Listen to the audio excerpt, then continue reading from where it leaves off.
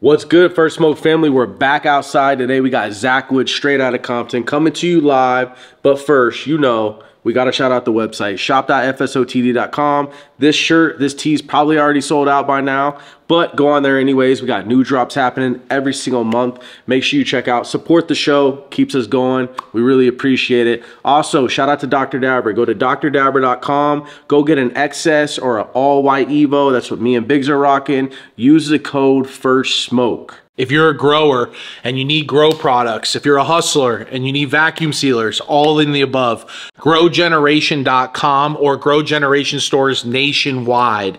If you're a grower and you want to try a new nutrient company, Drip Hydro, hit us up. Shoot us an email, family at firstsmokeoftheday.com, and we'll get you linked up with Drip. Switch to Drip, feed your flavor. Without further ado, we got Zackwoods. I had to go through this whole fucking therapy thing, you know, where I'm like watching, I'm in the hood, I'm watching my boys get shot three, four times, and they're back on the block in two weeks, three weeks, a month. I'm fucking in recovery, got my arm tied to the fucking floor, trying to get my move, movement and motion back. You know what I'm saying? So it was a, it was a, that was a crazy experience. But you're like the great, great, great, great grandson of like George Washington or something. They're like, yeah, and they really explained to me like how it is at Harvard, like.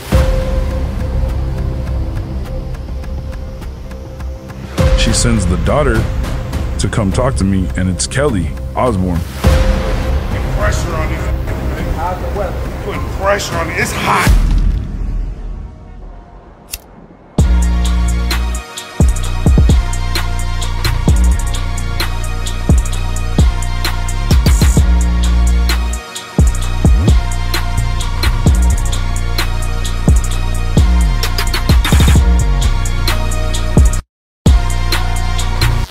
Yo, what's good, everybody? We're back, man. It's first smoke of the day, episode 92 today. We got my big dog, Zackwoods, in the building. What's good? What's good? It's your boy, Packgods here, your host, here with Blackleaf. You already know. What up, what up? And man, the, man, of many, man of many hats, live man. from the streets. Literally, straight from the streets, fresh out the airport, ready to get it.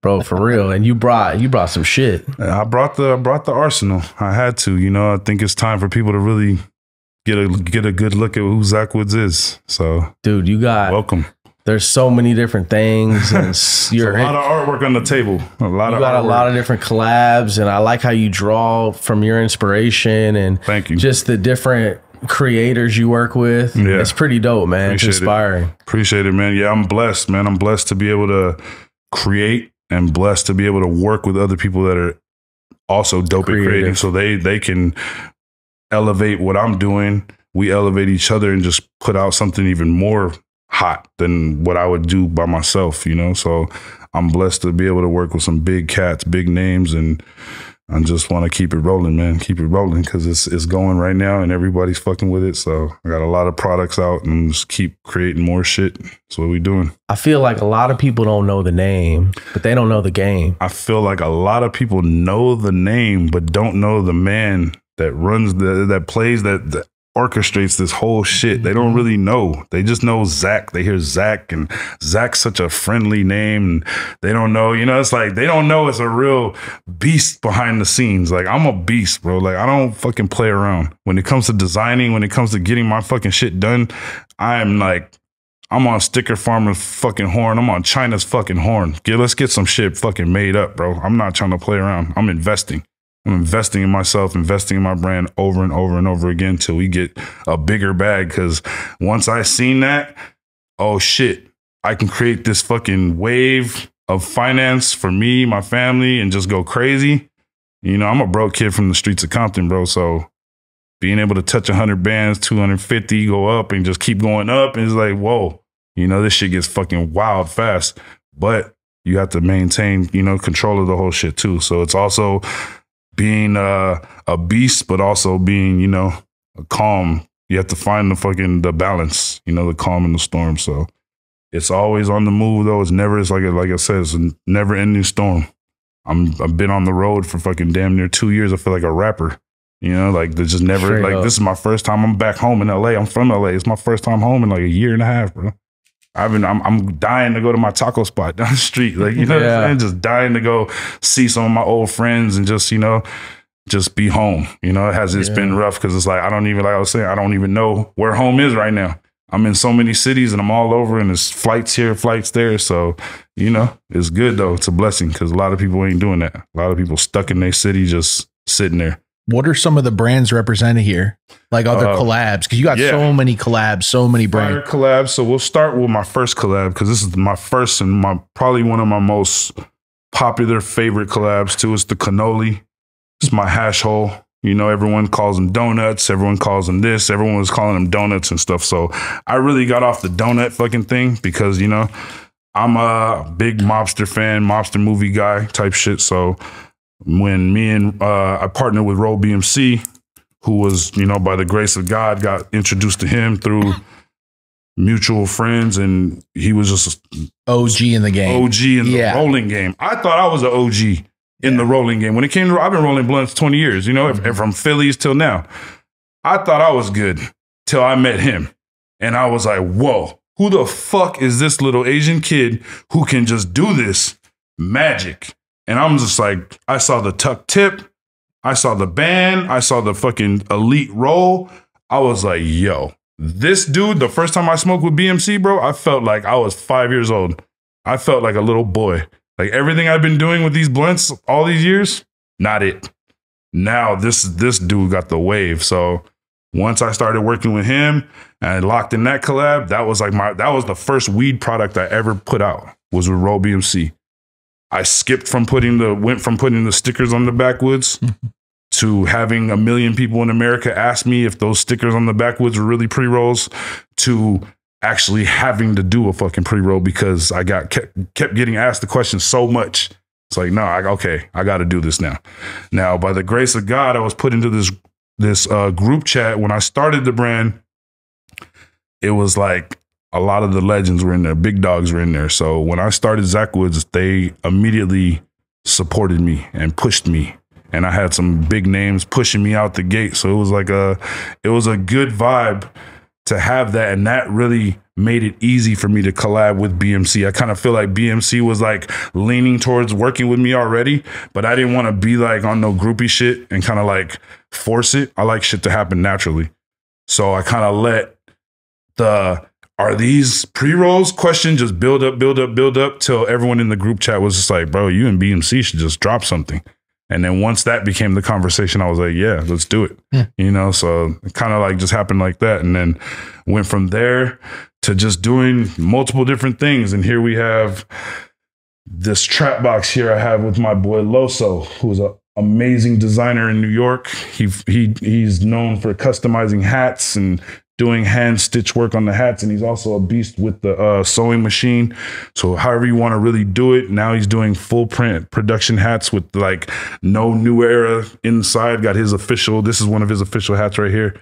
You see the la skull and bones got the flames all the way around. You got the mlb grim reaper logo you know Oh, what damn, i'm saying? So he's Yeah. a he's a he's a real beast when it comes to designing and he also is a producer so he makes music. And um when i was just be out there in new york fucking with him i met him in new york and he was just like a cool ass dude and i'm was looking at all his creativity and i'm like dude you don't have no you don't have no weed products? Like you need you need some weed bro. Like you're doing fashion you're doing music. Where's your fucking where's your pack at? You know? So he was like fuck man like i don't know like i was like well let me go in the lab and cook something up you know so I'm blessed to have a team of uh, artists and designers behind me that are just amazing. I have everything from your cartoon designer to your crazy little, you know, like he can get crazy with the splash. Or then I have this dude right here who is a flat out artist. This is my man. His name's Devin Almarinez. One another one of my brothers. Twenty years I've been working with him. And when I say he's a flat out artist, I'm talking about he's given handed paintings to the likenesses of Kobe Bryant, the Prince of Dubai, like several big, big, big names that we wouldn't even. I traveled to meet the Prince of Dubai because of this man's artwork. You know what I'm saying? So me and him have been locked in for a very long time. And anytime I get a project with a big name, oh, I call him immediately. Yo, yo, we got one. Go to work, you know, and we get in the lab and we start cooking up. And what he does is uh he has this style. Like if you look on the side here, or you see the flames right there where it says Loso, my boy, you know, the same flames that are on the hat right here, you know? So he kind of like tribute, we pay homage, you know. That's one thing I do to people that I fuck with, I pay homage. If I see something that I like that they got going on and I want to turn you up, we're gonna make you a trap box, we're gonna turn you up. But this right here is called life on a canvas. So my boy takes your entire life, everything about you. We study you. We go in the lab. We go find out where your mom stayed at. We find out your old street. We find out what car you drove in high school. We find out all that shit. We go look at your Facebook and steal old photos and do all that shit and put it all into the, you know. So when I hand you this box, this is your trap box. It's a Zackwoods collab, but Loso, this is your trap box to represent you, to represent the Bronx, to represent everything you're doing with your movement, and now display my weed. You know what I'm saying? So it's like, it's a fucking win-win automatically because the streets fuck with him, the streets fuck with me, and when we come together, boom, it's just power, you know. So Let's take it back to the beginning because I'm curious to know oh, how you adapted that mindset because you're taking a a collaborative approach and including people in your workings yeah, and doing that really well. yeah. Well, I mean, I don't think that was the plan, but the way it just started to go, you know, I, I'm a people person. I'm tapped in in the streets. I've been tapped in the streets 20 years before Zackwoods. People know me out here. So that's what I don't think people understand. The relationships that I've formulated just throughout life. Like I said, I've traveled to Dubai to meet the prince. I've been around the world. I've, you know, I've done a lot before Zackwoods. So once I got to the point now where I can create and I can go into the lab and cook up, or if I need to like go into the lab, go into my Hollywood Rolodex and pull someone out, it's nothing, you know, like I have a valid phone book of people that, you know, before weed who know me. Then also the people that I've attained now that I'm doing this whole weed thing, now that I am Zackwoods, now I have this whole other fan base of people who know me as Zach, and they're a fan of that. So I have two different, you know, like really groups to work with, and they're just like, you know, everybody's consistent with like like wanting to see more. So I my guys over here just, Yes, yeah, just cooking. Dr. Dabber. Shout out to Dr. Dabber. Let's give him a shit. Oh, you fucking I'm, good, gonna- I'm gonna be the first one to do some promo for Dr. Dabber out here because they're over shit. We got a dab coming to They're you. cooking my guy Dr. right here. Dabber, I'm Oh you. shit, God. Yeah, Fuck, no, man. shout out Dr. Dabber. This But shit yeah, hits yeah. hard. Big big shout to the sponsor. We're going crazy out here. My man's gonna uh, My bad, cough up a lung. It's good. It's good. We're you know we're, we're we're just we're just breaking the eggs. Talk more about the earlier years before all this. Take us way back, like growing up Way LA. back. I think for anyone that hasn't grown up LA, they want to know. up in LA, they want to know what that's like. like, Okay, okay, especially like you know, you're like you said, you're a people person. Yeah, like you, you cover a lot of ground. I My do. best way I could I put do. it. I've been know? a lot. I've been been around a lot. Been through a lot. So growing up in LA, I mean, I was a young kid. My family's from Compton, California, originally. You know, the hood. If you don't know, you should. um, it's not nice. It's nothing friendly. Nothing sweet. Saw a lot. Witnessed a lot. A lot of shit that sh- kids shouldn't witness. Been involved in a lot of shit that kids shouldn't be involved in. Um, you know, father murdered when I was five years old. Countless cousins murdered in front of me. You know, like just crazy life, man. So it was weird going from that that evil place where you know you just that's all you know is sickening, evil, bad shit going on. You're always and this is as a kid, you know.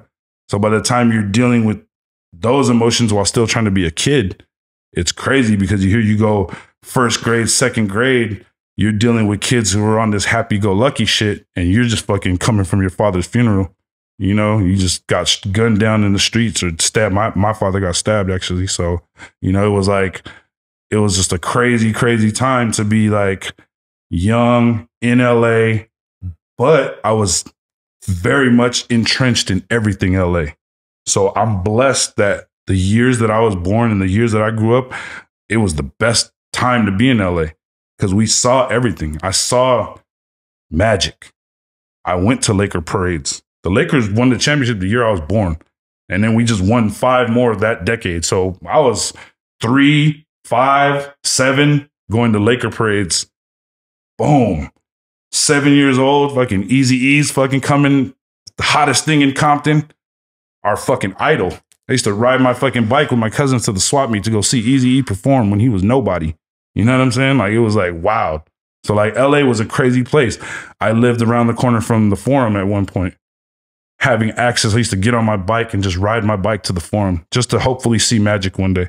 Just to ride my bike. Kareem would be, uh, Pat Riley, whoever, you know, but I was so close to the forum. And I don't know any kid that really had that where you could just get on your bike and just ride to the forum and be that close to like what was the biggest shit in Hollywood at the time. So I was always around some big shit. Not to mention too having family and in the music and and sports industry too. So it's it's just like it's been a lot to like to channel the hood life, then have access to the Hollywood life, then have access to the just regular life. Like I would have friends who would just trip out because I'd be one weekend, it'd be some gruesome, grotesque gangster shit that's going on in my life. Come back and I'm over here with my rich family members. Come back and I'm over here just having cereal playing soccer with my with my soccer team. You know, it was like so I've been able to just move around with all these different different uh, vibes going on, you know, as a youngster. So it was it was tough though, but it was definitely it shaped me. It shaped me as a as a youngster. It made me uh, very vocal.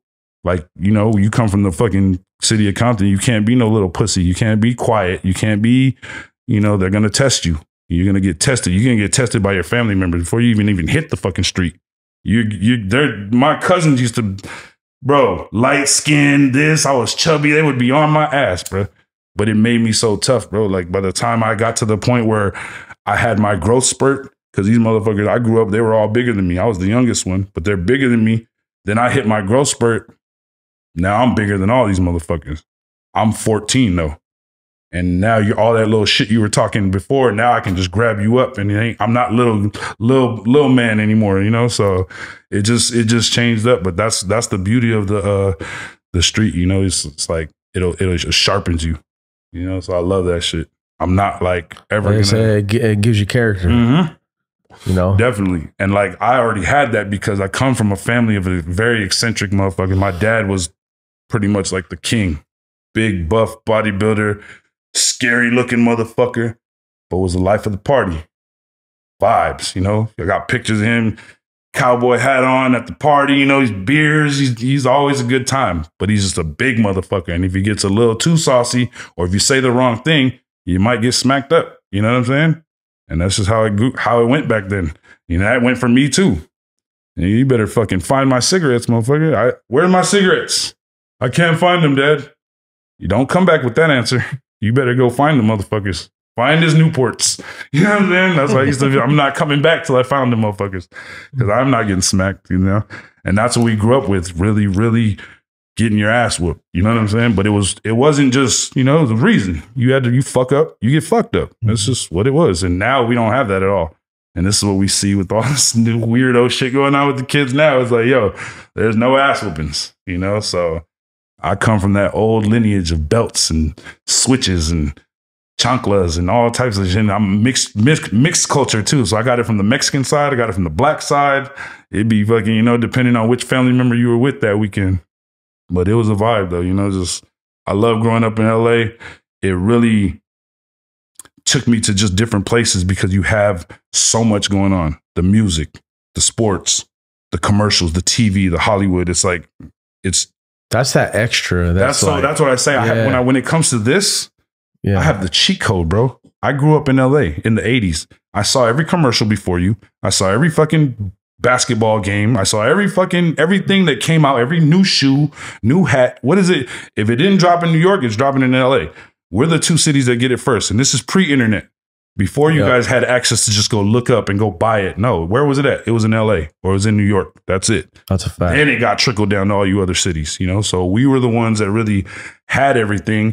So when it comes to designing something or doing something like uh fashionable, like, oh, they wanted everyone's on the chrome hearts. Okay, cool. I'll do the stoned hearts, you know, cook up the little bag. Cause I know people buy with their eyes. The fashion is gonna get them the whatever the the Nintendo, the nostalgia of the Nintendo game, you know, the Zelda game that everyone was like, "Yeah, you got to do your die cut." I'm like, "Yeah, I'm going to do a die cut, but I don't have to. Doesn't have to be all crazy.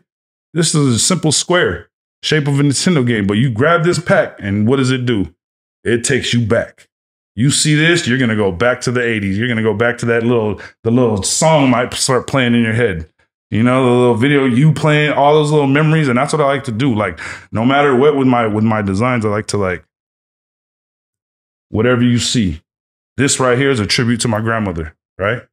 Growing up as a kid, every time I went in her kitchen, I opened the cabinet and I would see this lady looking at me. Who is this lady? This is the Abuelita chocolate lady. I used to drink this. She'd make it for me before I go to sleep every night. Cool.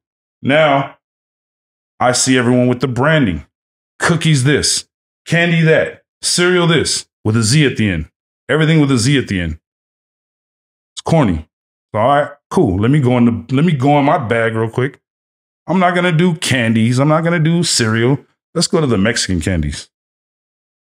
Abuelita, one of the most legendary, you know what I'm saying? Everyone Yeah. knows because of this lady. Instead of just have her holding the cup of coffee right there, take the coffee out of her hand, put the tray with the weed in her hand. Now Abuelita's holding the gas. Now she's Zackwoods. You know what I'm saying? So it was just like that. But I, I used that because my grandmother was just such an influential person in my life. And the ass whooping she displayed, she bestowed upon me, and the the hot chocolate she would give me after the ass whoopings. You know what I'm saying? So she was a very mean lady, but very loving lady. You know, so this is I use that. I can go back into that memory bank and pull a fucking mylar bag out of it. You know what I'm saying? Like that's that's what this shit is. Like it's crazy like that.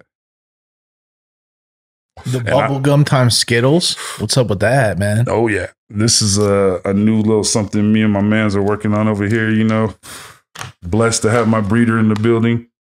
You gonna check that out? Check that out. We got that. We got No some, tray, no play. no tray, Zach no Woods. play. The Zackwoods I, way. do- I love the trays when you're doing bags if because you didn't it. know, if you didn't know, you know Oh yeah. the tray. This right here is what set set the you know set the game on fire. I feel like I feel like a lot of brands started using this once they saw me come with it because being able to I had a I had a, a couple people who you know showed me the little idea. Obviously, seen several cookies and candies and that have this, but when it came to putting it in there with the weed. And I was just like, okay, we're gonna keep the. I hated when people would pull up to the session, and be like, "Oh, let's roll up, let's roll up," and then you're pulling out this mylar bag and you got fucking nugs that have been fucking rustling around in your pocket with your keys and your cell phone all day. Pour them on the table. Oh, look, it's gas. ah, it looks like it's been fucking smushed up all day, you know? So this is kind of like to preserve nug integrity. And then when I came to like putting the brand in the bottom of the tray, because I was like, okay, I've never seen nobody do that. Let me fucking brand the tray. So this is be known as like my thing. You know what I'm saying? I'm not gonna sit here and yell it. I did it first because China did it first, but you're gonna know Zack was the motherfucker that had this shit going first. So and and then using the no tray, no play, and putting the little tray in, implementing that into the whole thing, just really my way of branding it, so you know it's me. And then you know you're never gonna buy a bag of weed without this tray inside. Not from me. If you got it from it, don't have the Zackwoods tray in it, it's fake. You know, so and there's plenty of that going around, so watch out. It makes a huge difference when you have a tray in a bag. That's the one thing about having a bag is that it things get messed up Right. easy. Right. And and you know the the mylar bag has been taking his fucking taking his fucking his rib shots out here, you know. but I, and I my whole thing is I've been listening and hearing everyone make their little fucking bitching about mylars and this and that. My eh, every look, let me tell you what it is about the mylar bag. Okay, the mylar bag is not your enemy. Your enemy is the fucking asshole outside of California who decided I'm gonna take this mylar bag and put some bullshit in here and try and make a bag off these fucking custies that I got. That was never what California intended the Mylar bag for. We created the Mylar bag to put our best, it was a new way of presenting our weed, right? Yeah. 2017, 2018, run, shout out to Run, shout out to Sticker Farmer. Um, we presented the weed that way. And at no point where we when when did you ever see a California dude putting bullshit weed in the bag? That wasn't our MO. Our MO was this is our new way of presenting the weed to you. Ooh, no more fucking, no more Ziploc. You got a sticker, you got a, ooh, you got a, and you got gas in the bag though. There was no fucking booth. There was no boofing the people. That's not what we did this for.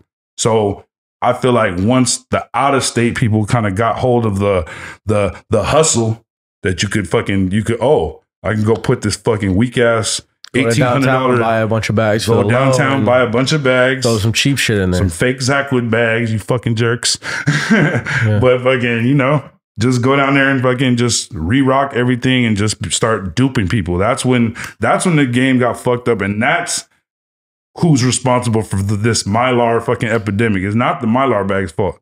I feel a lot of people are just shitting on the Mylar bag, like, oh, boofing Mylars, boofing. My-. Look, if there's boof in the Mylar, it's not the Mylar's fault. The weed didn't, the Mylar didn't put the weed in there. Some asshole did. So make sure you fucking give the fucking give that asshole the fucking credit. Don't don't blame the Mylar bag. Not saying to say like I love jars too. I'm getting in my whole jar wave and shit. You know, I got my shit going out here, so I got to do a little bit of everything though. I'm not gonna ever just be a one trick pony. You know, I got I see people doing this, do that, but then I also too when I see people doing too much of something, I like to grab the wheel and just swerve a whole different direction. You know, that's where my creative juices kind of like kick in, and I think like you said. I don't really see too many people with with my style or with my, you know what I'm saying, my drip. I don't feel like they go as hard. I feel like they just got a little Johnny designer in their fucking back pocket, pay him 300 bucks to cook up whatever design. Bro, this fucking box right here, $3,000 it cost me. I pay my fucking artist $3,000 for every trap box you see with this fucking drip on it. My fucking designer gets $3,000. So every time you I've, Each box? each box cuz it's 3000 for him to do this to do all this. And it's me and him that do it so because and you do a new, new one for each box. I mean, each person I do a collab with, like I just did a Shabinsky collab. I have the Grandiflora back back here collab I just did with them. I did one with um, Stevie Williams, pro skater. I've done, you know, I've done. I got about, shh, I got about fifteen different boxes now. You know, so Yeah, it's going crazy out here. straight so, up. you know, it's it's uh, the the blessing to be able to create art is so fucking crazy because I remember just being. I've always been a fan of it. You know, fan of art, fan of just all different aspects of it too, from the painting to the the graffiti, to whatever type of you know whatever you're doing, even the growing of weed. That's an art. You know what I'm saying? So like when I see like my breeder right here hitting me regularly, Zack, we got this, Zack, we got that coming down the line, and it's like, oh, and he's excited, so I get excited. You know, so it's just like, oh shit. We're getting like you, you're over here. I haven't even tried this yet. I haven't even tried this yet. You, I just got it. So you, you saw it. I saw it earlier too, and I was right. I was thinking, oh, bubblegum Skittles. Oh shit, this might be some. So we're gonna see, you know. But I got a bunch of uh, bunch of new bags coming down. So we got to have a bunch of new fucking real phenos coming down too. It's not like no fucking re-rock shit. We don't play that game over here. You know, like a lot of people think like, oh, we can just put whatever. Like I said, I'm not into that. I'm not into if you got fucking 16 different bags, please have 16 different strains of weed. Don't have fucking 16 lemon cherries because I don't like that shit. When I open the bag and keep smelling the same shit. And you're gonna give me a different bag, but it's not a different smell. Why? That the, you're playing me for an idiot at that point, and I'm not. You know, I don't want to feel like I'm doing that to anyone. I don't want anyone to ever take a Zackwood pack and be like, "Oh, you he re-rocked this." Nah, bro. I'm really out here writing on the bag with the X's and the crew. You know, with my fucking guy right here. You guys got some shit. You're gonna, you know, the mm-hmm. jars I gave you mm-hmm. guys, so you guys can see what we got going on, man. But it's like, it's deep out here. You gotta be, you gotta be really entrenched in this life. You can't just be half-assing it, bro. And there's a that's a a lot of people in this game, bro, that are half-assing this shit, and they think they're doing it. And that's one thing I really wanted to touch on while I was here today is the fact that this is a fucking league. It's a league. It's a small league. It's a league of extraordinary gentlemen, but there's a fucking difference between the players and the owners in this league. There's 32 owners in this league. We know all 32 owners. You know, if you're an owner, you're an owner. We can all call each other. We got each other's phone numbers. We can call, talk business. We can talk argument. We can talk collaboration. We can talk whatever. But at no point can you be a player on the field and pick up the phone and call Jerry Jones or call Al Davis or call Robert Kraft. You're not doing nothing. If you're not doing nothing on that field, then they're not answering that call. Who are you? So I suggest a lot of these players that out here in this game thinking they're doing it without any fucking California fucking, you know what I'm saying, like backing or somebody that really certifying you, stamping you, get your ass to work. Get out on that field, go make some plays. Stop acting like you're fucking King Kong because you flipped a few packs, because you made a few Mylar bags, especially if you're not from the hometown, the home state. You know, this is where, and I not to knock anyone else in any other state because I know it's getting going crazy all over the country and weeds going going. I, I love it. I love how every state's becoming legal now. Everyone's getting off the fucking you know scary shit. But we always got to keep in mind where this shit started. You know what I'm saying? We always got to keep in mind who was really outside 2010 taking them trips, Honda Civic to Humboldt, 30 packs in the trunk, you know, really risking it out here, you know? A lot of these cats didn't really take no risk. They just see, they come in the game. And I tell all these little young kids, my young homies, you guys got it good, bro. You come in the game, you guys got flavors, you got dispensaries, you got pre rolls, you got hash holes, you got all this shit leaves, everything's just there for you. I mean, you guys know what the fuck we had to go through to get a bag back in the day, or to fucking flip a bag back in the day, or to just make a fucking simple sale. I was riding with my partners the other day, my little young homies. I'm like, you guys don't get it. They're like, what do you mean? I'm like, we got it easy, bro. I'm over riding in the car. I'm like, look, you got to make a play right now. What do you do? Pick up your phone, make a fucking play. If I had to make a play back in the day, what you to do? Beep, beep, beep, beep, beep, beep. Who's this? Oh shit. 420, 911. Shit. Who got 20 cents? Who got 20 cents? Da-da-da. Scramble for the change. Find the change. Where's the payphone? Where's the payphone?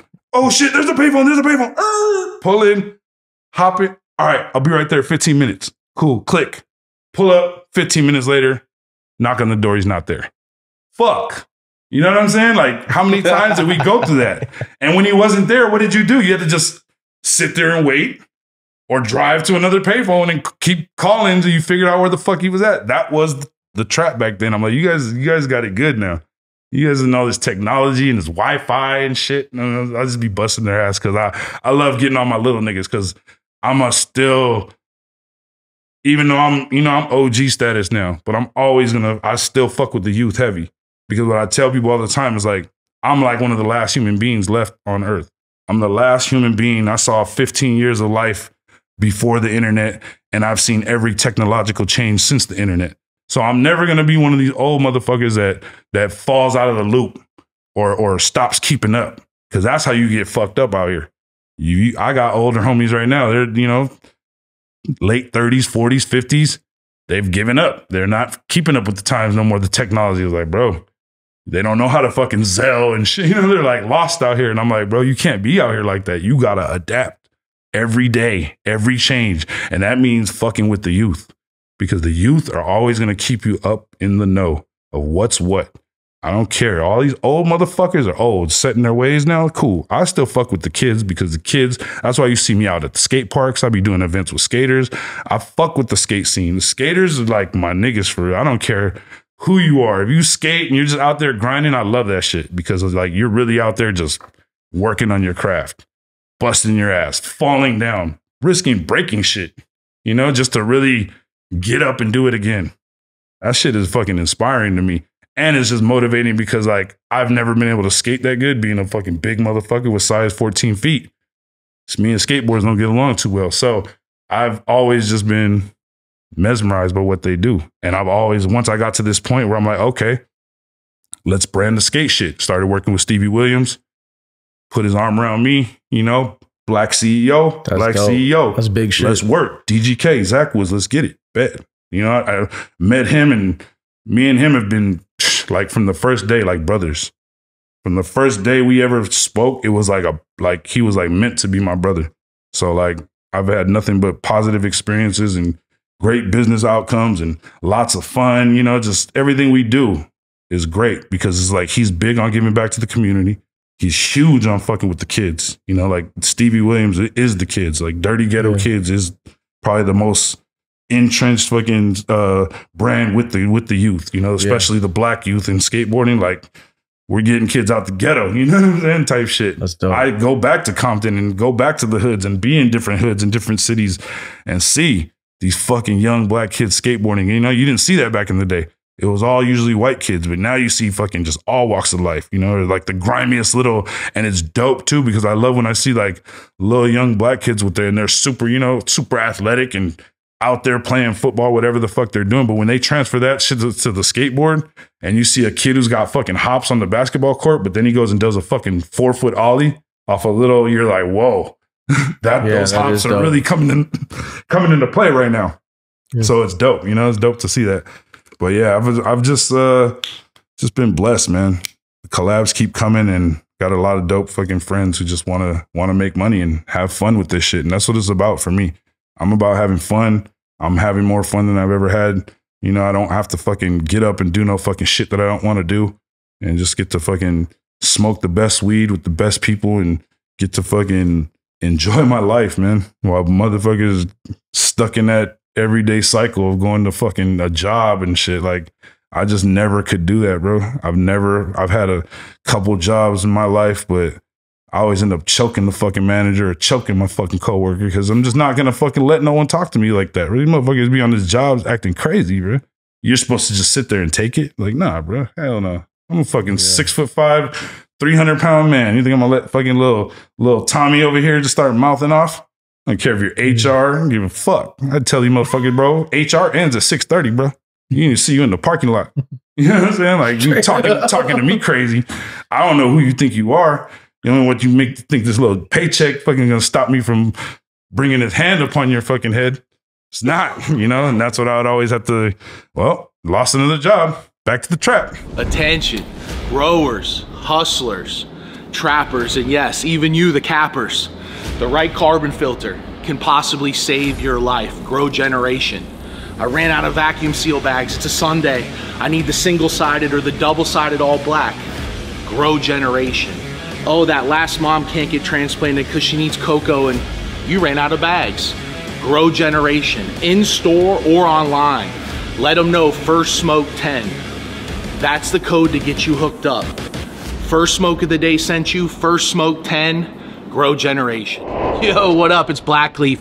I'm here at Grow Generation, and guess what? Drip Hydro storming the market. All the best growers I know are switching to it. And guess what? There's a reason because it's preserving terps. I keep hearing that preserving terps. And that's why we're here with Sunshine, facility advisor, facility manager, overall the man with Drip Hydro. Listen to why it's different, man. What's going on, guys?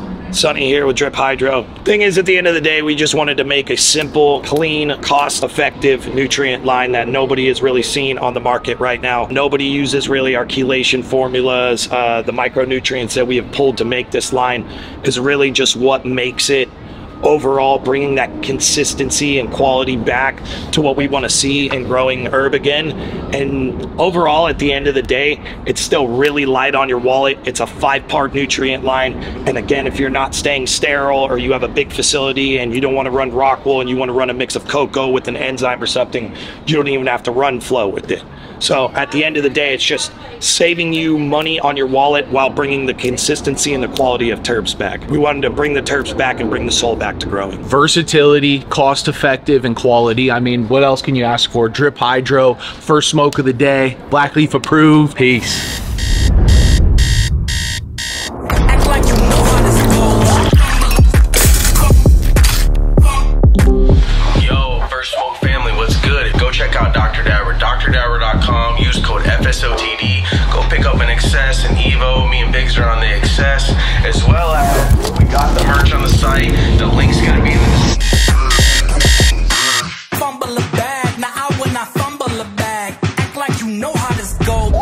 Trays is where we get our merch done. Shout out to Mood Trays, man. Moodtrays.com. FSOTD, this is where you're seeing all the gear, the custom die cut rolling trays, the ashtrays.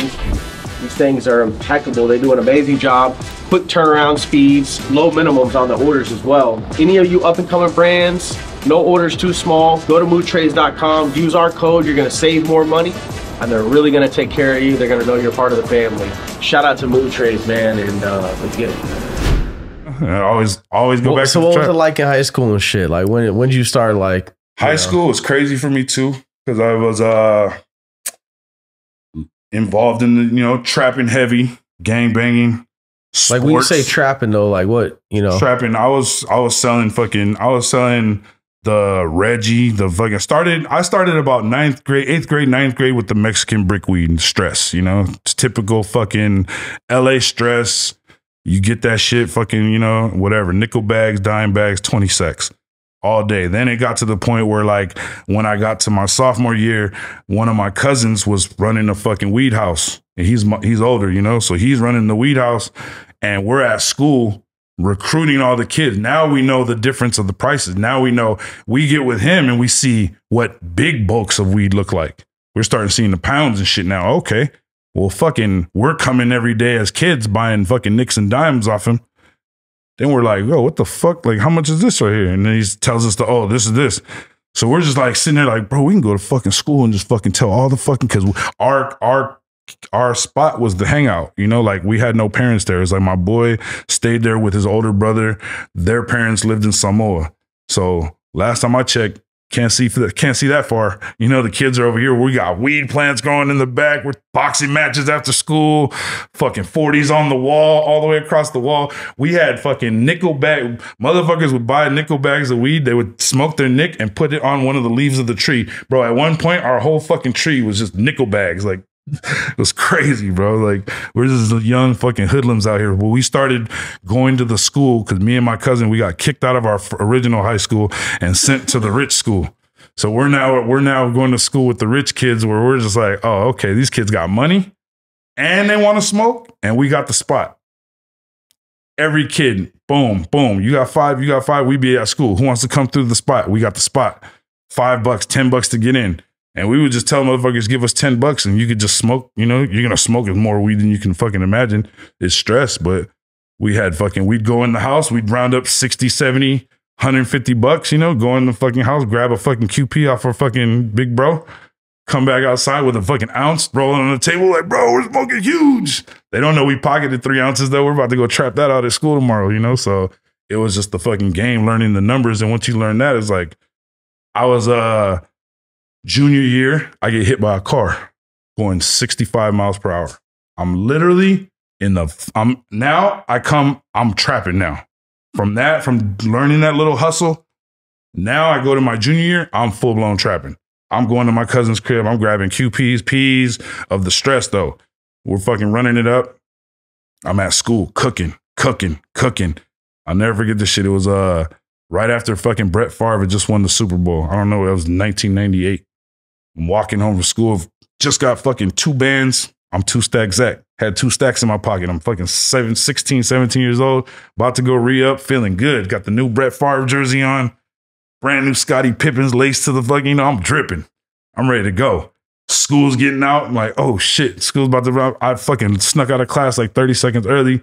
Just started hitting my plug like I'm on my way. Boom. I'm walking to the fucking corner to go fucking do my thing standing there at the light like this, half a little joint, smoking, take a hit, boom. Light turns green. I step off and I don't remember shit else. You know, I wake up in the hospital. Wake up in the hospital. And when I wake up in the hospital, I don't, I'm fucked up. I don't know what the fuck happened.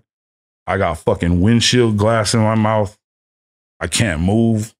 I'm fucking neck braced up. You know what I'm saying? So I really had to get the whole fucking story told back to me of what happened. And when my boy, who was like, my boy was right there sitting in the car watching the whole thing because he's coming to pick me up, he was like, bro, you stepped off the curb and the car ran the red light going like 60 miles an hour. And he fucking hit you like, you, you tried to like, I tried to like swerve and he, he tried to swerve and he ended up just taking me straight on. Boom. And then when he, they hit me from the left side, but I flipped. When I went, my fucking head cracked them went straight through the windshield, cracked right here, and then the, the windshield formed as like a like a ramp, launched me in the air about 13 feet, two flips, and I came down like this on my left side. I broke three fingers, wrist, elbow, compound fracture, collarbone, and clavicle, all in one. You know, but when I got the compound fracture on my elbow, that's like the bone was sticking out. So I had to like fully fully recover from this fucking my whole arm had to fucking like he damn near got ripped off. You know what I'm saying? So it was crazy. It took like two and a half years to fully recover. Like fucking 30 days in fucking ICU peeing through a tube. Like real fucked up shit, you know? And I was just like tripping out because I'm living in the hood at the time too. And I'm seeing a lot of my homies going through the gangbanging shit, getting shot and all this other shit. And I'm laid up in the hospital from the car accident 30 days in ICU, bro. That's a long time to be in ICU. If you've ever been, if you ever know, Straight the ICU is up. supposed to be quick, get you in, get you out. I had to fucking when I finally got out of that shit, I had to learn how to walk again. Like my legs didn't work, you know, because I'd been laid up for 30 days. So it was this crazy experience. And then having a full two and a half year recovery process. So it was like I had to go through this whole fucking therapy thing, you know, where I'm like watching, I'm in the hood, I'm watching my boys get shot three, four times, and they're back on the block in two weeks, three weeks, a month.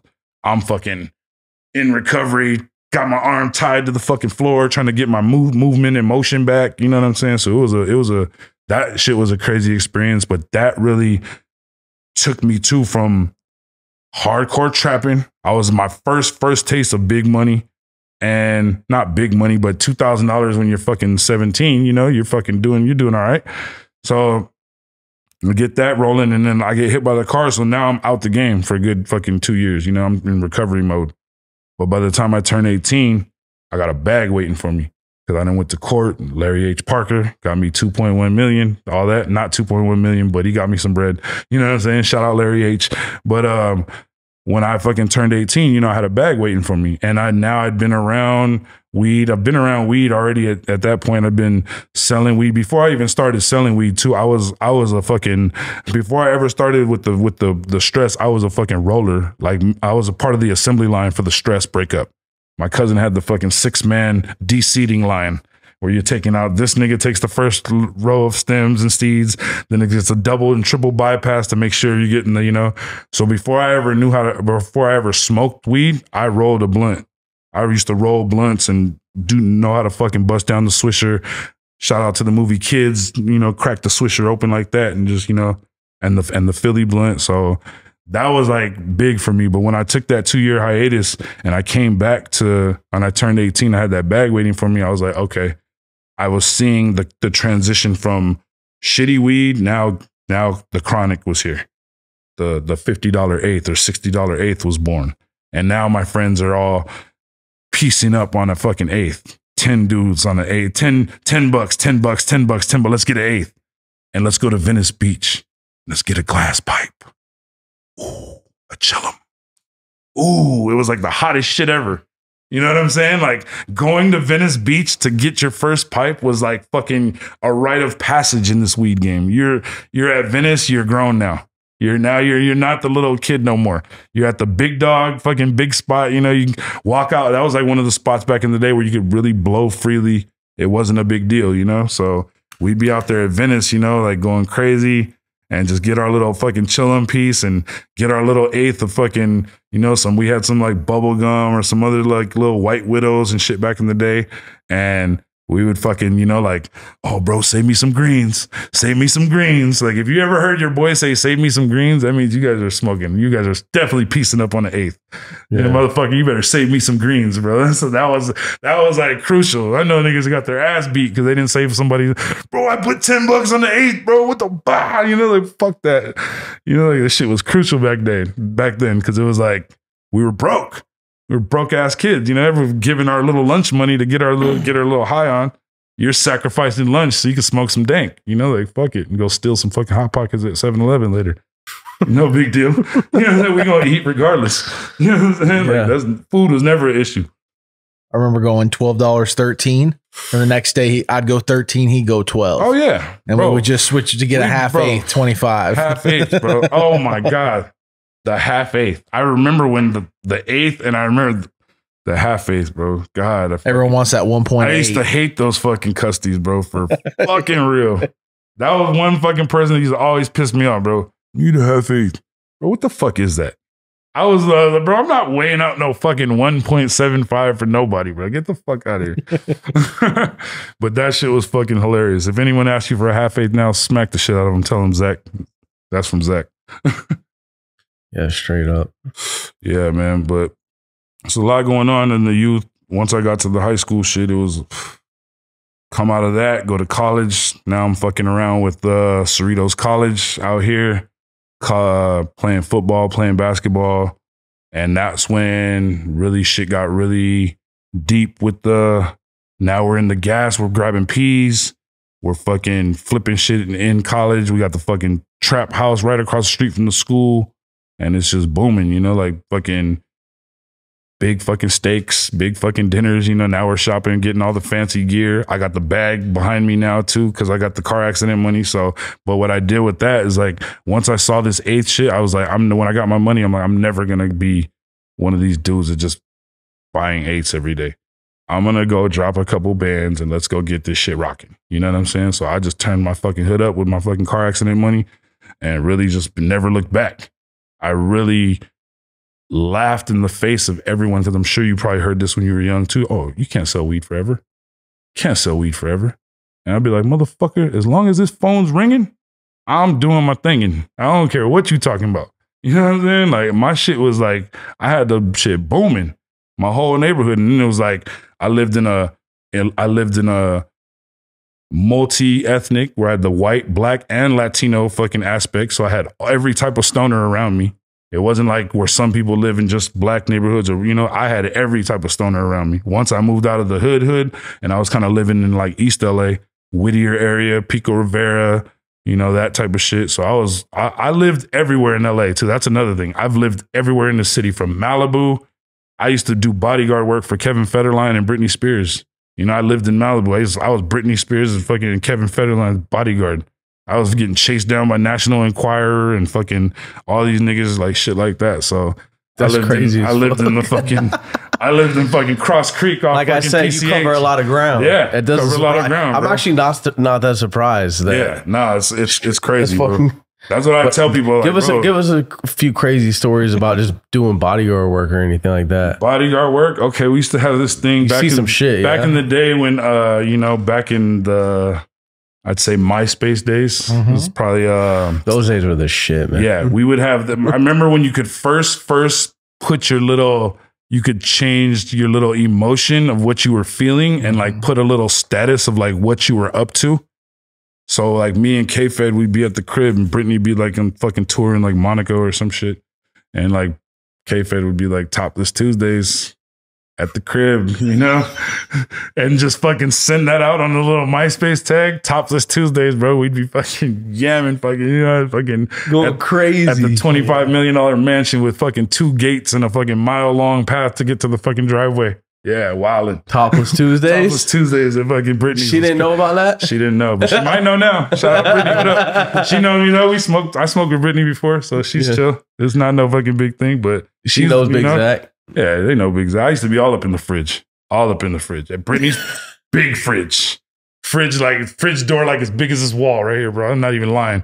I was blown away. I'd open the fridge, be like every fucking snack in the world in there.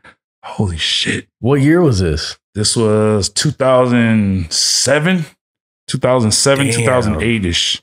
Right around Yep. the, right after the, right mm-hmm. before, right, I think when they just had the first kids, they've just had their first kid. So shit's still popping at this point. Oh, it's popping. I'm Full blown. Full blown. I'm, I'm like, They probably got a ton of ton of staff, ton of people oh, there. bro, like- it was crazy, bro. and Yeah, buddy's just to and drive up- just straight up I used doing to, topless I used to, I used to, I used to go, I used to go get Yo. His, I used to rip to the liquor store in his whip to go get fucking cigarettes, and I used to have to, I used to have to take. He'd have a, he had a fucking Ferrari with the with the fucking the big ass brake pads that said Federline in the Ferrari font, and I would fucking have to go to the store and get his fucking cigarettes and shit because you know, like we'd be out there fucking doing the thing, like. Yeah. He's the ultimate baby dad. Me and my, my- one of my boy, my, he caught my- a check off my other boy, uh. Rich Rocka, he's one of my one of my rapper homies from the Bay. He was we was right there. He was actually writing rhymes for Kevin Federline, and we were you know so it was like yeah. all one big conglomerate Yeah. thing that was going on, but it was all based off of just mutual relationships we had in Los Angeles. It ain't what you know, it's fucking who you know. In this game, in this world, in this city, in this business, in this life. I don't care what the fuck they tell you, bro. You can go to school. Every motherfucker I've known go to school. Matter of fact, it was funny. I had a friend dur- during this time. It was popping. My life was crazy. I'm coming home every night, fucking Hollywood, five in the morning, drunk as fuck. Shouldn't be driving, driving anyway, whatever, you know. But I'm fucking Allegedly. allegedly, you know what I mean. but I would remember. I would remember specifically. I would come home and I would always see that at four or five in the morning, I had a boy who would fucking be up, taking fucking three buses to go to Loyola Marymount University. He'd be up at five in the morning every day, every day. And I'd be coming home and he'd be right there. And I'd be like, yo, this motherfucker is crazy, bro. Because whatever the fuck he's getting up to go do at five in the morning, Loyola Marymount, all this shit, I'm like, bro, that shit better be worth it. That's what I used to say. It better be worth it because these motherfuckers up early. Three buses through LA from Whittier to fucking L- to wherever Loyola's at in Hollywood or LA. Like, oh my God. And sure enough, I'd be like, yo, years later, never saw anything come of the degree. Never saw anything and eventually saw my boy working at like a fucking restaurant and shit. And I'm just like, bro, you were fucking up at 5 a.m. every day. What happened? Nothing. He just nothing bad happened, but you would think if a He didn't motherfucker go for it. he didn't he didn't whatever the degree he got. I mean, See, the issue with school is they don't prepare you with experience. there's no experience. It's just fucking. You can't learn if you don't It's just gain kick you off the cliff and fly. School should be like a pairing with like active role in a big company or like some type of situation that you're looking to, you know, Mhm. Aspire to be in. Like nothing. Yeah, no, it's dated and the shit's useless. Like I, I have a younger sibling now, and I told him like, yo, it's if you want to go, it's for the network and Yeah. the people you'll meet and Exactly. the experience. I recommend But that. take your take your But hustler mind with you because you're not going to go learn nothing in business. yeah. You're not going to and you're not going to come gonna- out and have any fucking No. job waiting for You're you. not going to learn nothing about branding, marketing, right. design. None of the shit that you're going to actually have to do if you want to start even a landscaping company. Right. You got to learn You all. gotta learn all this shit. You got to. you know and it's crazy for me because like me like i said i didn't go to school or have any you know I, i've never done any of this it wasn't there was this was never anything that But you're I've not done. scared to try shit. but shit. i'm not scared to try shit i'm not scared to invest in what i what i what, what i saw when i moved i moved from la in 2015 i moved to the bay moved to san francisco so when i did that and i really started hanging out with my man right here on Haight Street and we're we're over here chilling and i'm kicking it on the block and I'm seeing a bus drive by with a fucking weed fucking ad on it. And I'm like, okay. And I'm like looking up and I'm seeing fucking the billboard with a fucking weed ad on it. Okay, I'd never seen that in LA. And then I'm fucking driving across the Bay Bridge and I see fucking Korova has the biggest fucking ad space where fucking Yahoo has that fucking sign now. That used to be a fucking Korova fucking sign. What? A fucking edible company has the biggest fucking billboard space in the Bay? That was fucking crazy to me. And I'm like, yo, this marketing shit's gonna get wild. If this, and I remember when I got my first Korova bar too, the packaging fucking scared the life out of me because it was like a thousand milligram fucking bar. Mm-hmm. And on the back, it had this fucking crazy ass, like barbed wire fucking font that was like, do not eat more than two pieces at a time or you will be fucked up. Like whatever it said, but it was just like, looked all fucking scary. I'm like, yo, this thing is no joke. And I remember fucking biting into that thing, like, fuck it, I'm gonna just, "Arr." And it took me down, bro. It took me down. I was like, nah, I shouldn't have done that. You know, the Korova was no joke. So that was my real first into that was the first brand that I saw. And when I saw that, I was like, okay, bet. Now I come fast forward, come meet my man Issa on Haight Street. We're kicking it out there, doing our thing. I'm seeing everybody pulling up. Now I'm seeing the first Runts bag and the first Mylar and the first I'm seeing obviously cookies had it had their little, you know, the blue bags first. But when I'm started seeing the sticker bag outside on the street and niggas are pulling up on Haight Street trapping them, I'm like, oh, okay. This is what the, this is what the game's going to. And I really it was funny because when we get into we can go ahead and get into this now. How how I fucking started Zackwoods because I was actually living in the Bay, and I had this fucking old fucking homie that I used to buy my OG off of back twenty years ago, and he's the first fucking cat who ever pulled up on me with a pound. Because back back then I couldn't buy a pound; I could only get like four ounces at a time. OG was real scarce, you know. So like. I'm like, cool. My boy pulled up, served me the pee. It was all good. We maintained a fucking long, long relationship of me selling fucking OG. That's how I met Shaggy. That's how I met, you know what I'm saying? Full circle to that, right? So I come to the Bay and one day I'm in the Bay just chilling. And, you know, obviously me and my guy, we kind of like, we didn't out, I didn't outgrow him, but I kind of, I moved away. So like, you know, I wasn't really, you know, grabbing shit off him. I hadn't talked to him maybe a couple years, but all of a sudden one day he calls my phone and he's like, yo, what's good? G, you still in the Bay? I'm like, yeah, I'm up here. What's good? I'm in Frisco right now. Pull up on me. He's like, bet. He's like, I'm an hour out. I'm pulling up with my boy. Cool. Pulls up. Fucking hop in the car with these dudes. He's like, what's good? Fucking white dude in the front. What up, bro? Fucking say what up to my boy. Oh, that's my boy right here, Sour Waves. Oh, what up? I don't know who he is I never heard of him, never, never know what a Sour Waves is, nothing. But just start talking, shooting the shit. We're driving around the bay, busting plays. The first day I ever met Waves. And we're fucking kicking it. We're laughing. We're talking shit. I'm like seeing that he knows his shit about the game. And I'm like, we're just listening to what he's saying. I'm okay, you got a little OG status. My boy's obviously an OG. I'm 20 years in with him. So when the fucking the ride ends and we fucking separate ways, I fucking, you know, I tell the fucking waves, I'm like, yo, I'm like, what's good? I'm like, let me get your let me get your IG. The most famous fucking let me get your IG ever. Fucking go on this dude's page. Now I had my own page at the time. I wasn't a brand or anything. I just had my personal page, but I made a lot of fucking memes. And I made a lot of memes about a lot of different topics. All topics, actually. I didn't fucking hold back on anything, but there was one topic that I never really touched on is because I was afraid to offend people. It was the weed community because I knew people in the community and I didn't want to, you know, I knew some of the shit that was going on, but I didn't know, I didn't want to ruffle no feathers like that. So when I meet Waves and I ask him what his IG is and we split waves and I go fucking scrolling in my phone and looking at his fucking page and just start fucking looking at what the fuck he's doing. Oh my God. I'm like, yo, this motherfucker don't give a damn. Everything that I've wanted to say, he's saying it. And I just hit him. I'm just like, yo. And I guess at the same time, he might have been scrolling my page because we literally text each other like an hour after we, like, yo, bro, you're fucking fucking hilarious. And he's like, Yeah, I was scrolling your page. You're pretty fucking hilarious too. I'm like, Yeah. So then he was living in the Bay at the time. So then me and him, he just started, he's like, Oh, you live out here? Cool. So we just started hanging out. Me and Waves, he's pulling up on me. He took me to my first fucking $300 fucking dab dinner where everyone walked in and I'm like, What the fuck? He told me, Yeah. He told me it's like, It's 300 bucks. And I'm like, well, 300 bucks for the dinner? I'm thinking we're going to like some fancy restaurant or some shit. I'm like, okay, fuck it. $300 dinner. We lit. I walk in, it's just like a fucking table like this with just hella rigs on it, bunch of fucking dabbers in there, and then Waves walks in and everyone just starts applauding and shit. I'm like, yo, what the fuck? this motherfucker, like the meme lord has arrived. I need my money back, man. Right. I was about to say, no one waves. That shit was all comped. bro. It was like, bro. So then, like, that's what I'm saying. Like, I'm in there expecting to pay the 300, and then we just sit down, and I see the fucking round of applause when he walks in. I'm like, Oh, I ain't paying no fucking 300 bucks. These fucking people are gonna, they're gonna hold this. You know, I'm in my mind, I'm on my hood shit. Like, no, hey, I ain't giving up 300 of these. But then they were, sure enough, they were just like so happy to have him there. Like, they didn't even give a fuck about bread.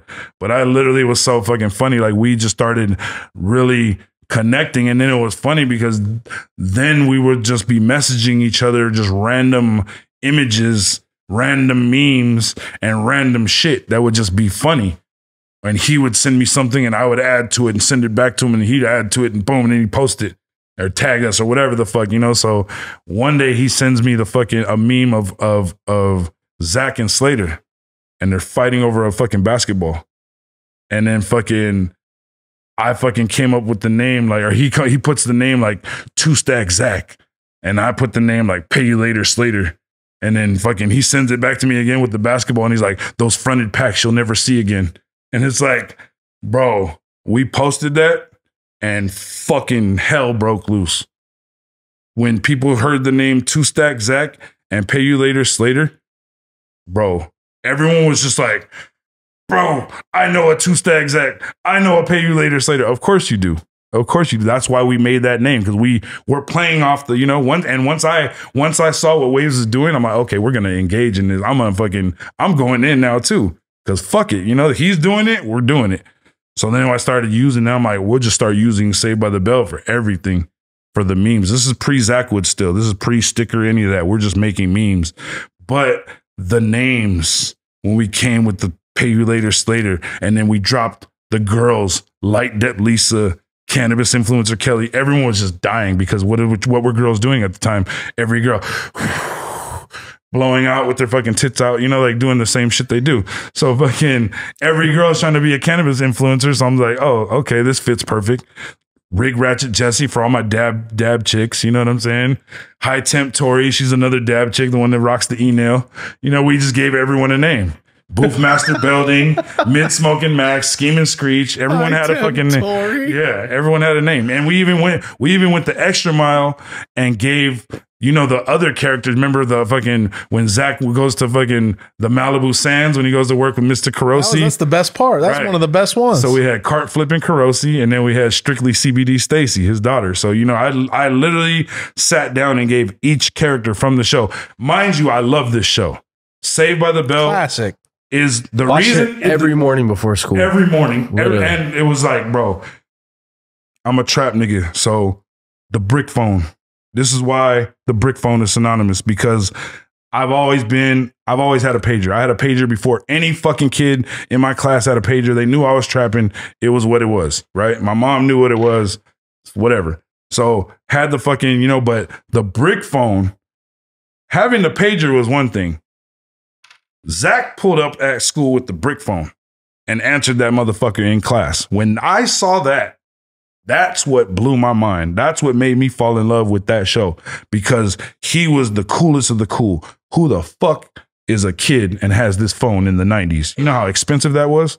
Who had phones like this back in the day? Businessmen. That's it. And if you listen to, you remember the show, Uncle Zack's dad was a businessman who traveled a lot. So the reason why Zack had the phone was because the dad was always on the road and always had to reach him. So it was like, I'm so mesmerized by this shit. And I'm just like, yo, Zack's cool as fuck. Mind you, he had the drip. You know what I'm saying? Sassy, smart ass at school was like me. He was like me. He reminded me of me.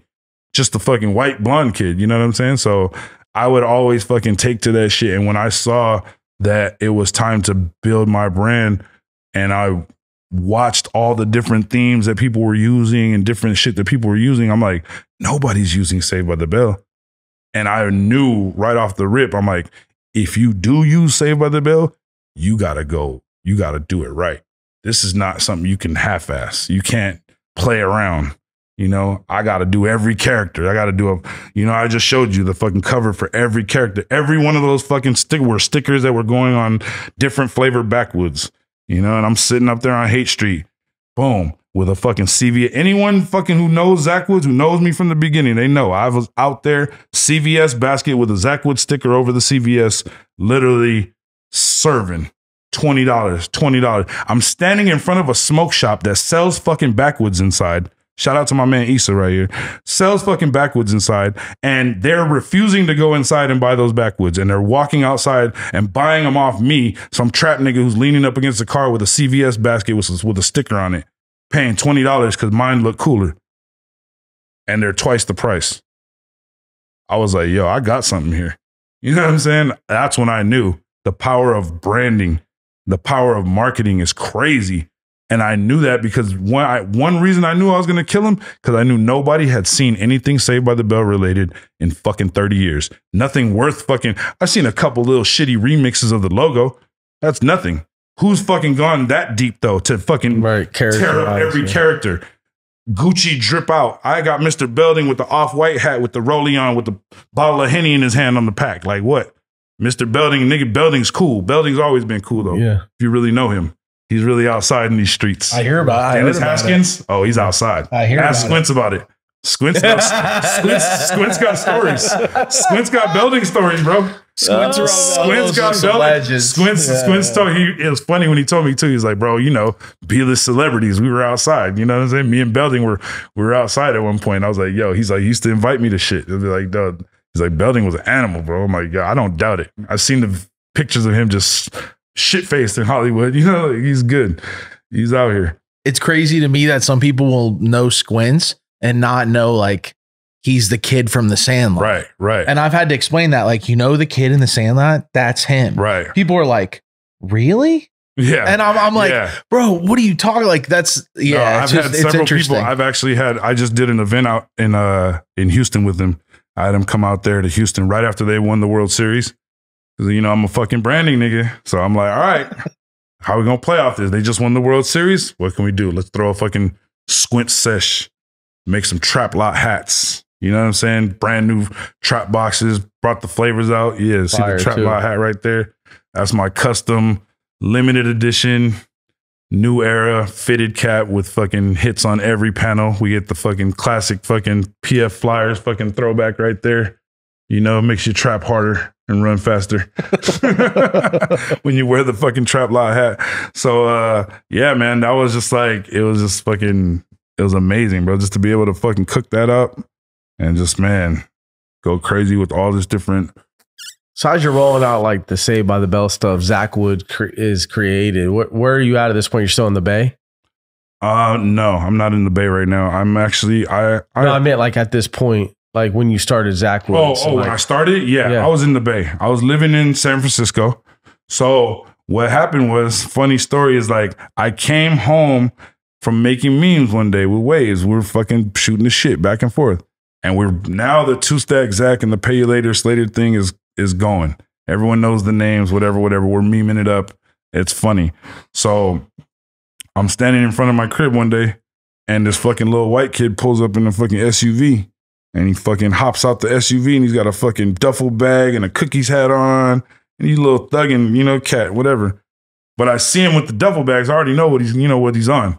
So when I pull, I whip my phone out and I start fucking filming him, you know, and I'm filming him like this. And he's like, he fucking comes around the car and he looks at me and look at him. He kind of like making sure I'm not a jack boy. You know, he's like, it's good, it's good. Throw him the nod. But I'm filming him and then I upload it to Instagram and I put the caption. I'm like, when two stack Zack pulls up with fucking blue uh blue dream, but he tells you it's blue cookies, you know, and then fucking it's just I posted it, bro, and swear to God, like everyone in the bay, it happened to be that dude that I posted happened to be a little a local trap dude in the bay that that was fucking with the with the mylar bags and the rent shit. He was I didn't even know this, right? He's my next door neighbor. He sees this fucking this meme starts circulating throughout the Bay Area. Motherfuckers throughout the all the Bay Area start hitting me like, bro, you know who that is? Bro, you just memed one of the fucking, oh, that's funny as hell. Like, bro, I'm like, bro, I didn't know who that is. I'm like, who is it? And then they, send me his Instagram. Then later on in the day, that dude hits me on Instagram like, yo, that was funny as fuck earlier. I thought you had the pistol, but you know, I'm glad you were just making memes. I'm like, yeah, no, I was just trying to get you fucking in your in your fucking natural state. So like he ends up fucking telling me, he's like, you live right here? I'm like, yeah, I live right here.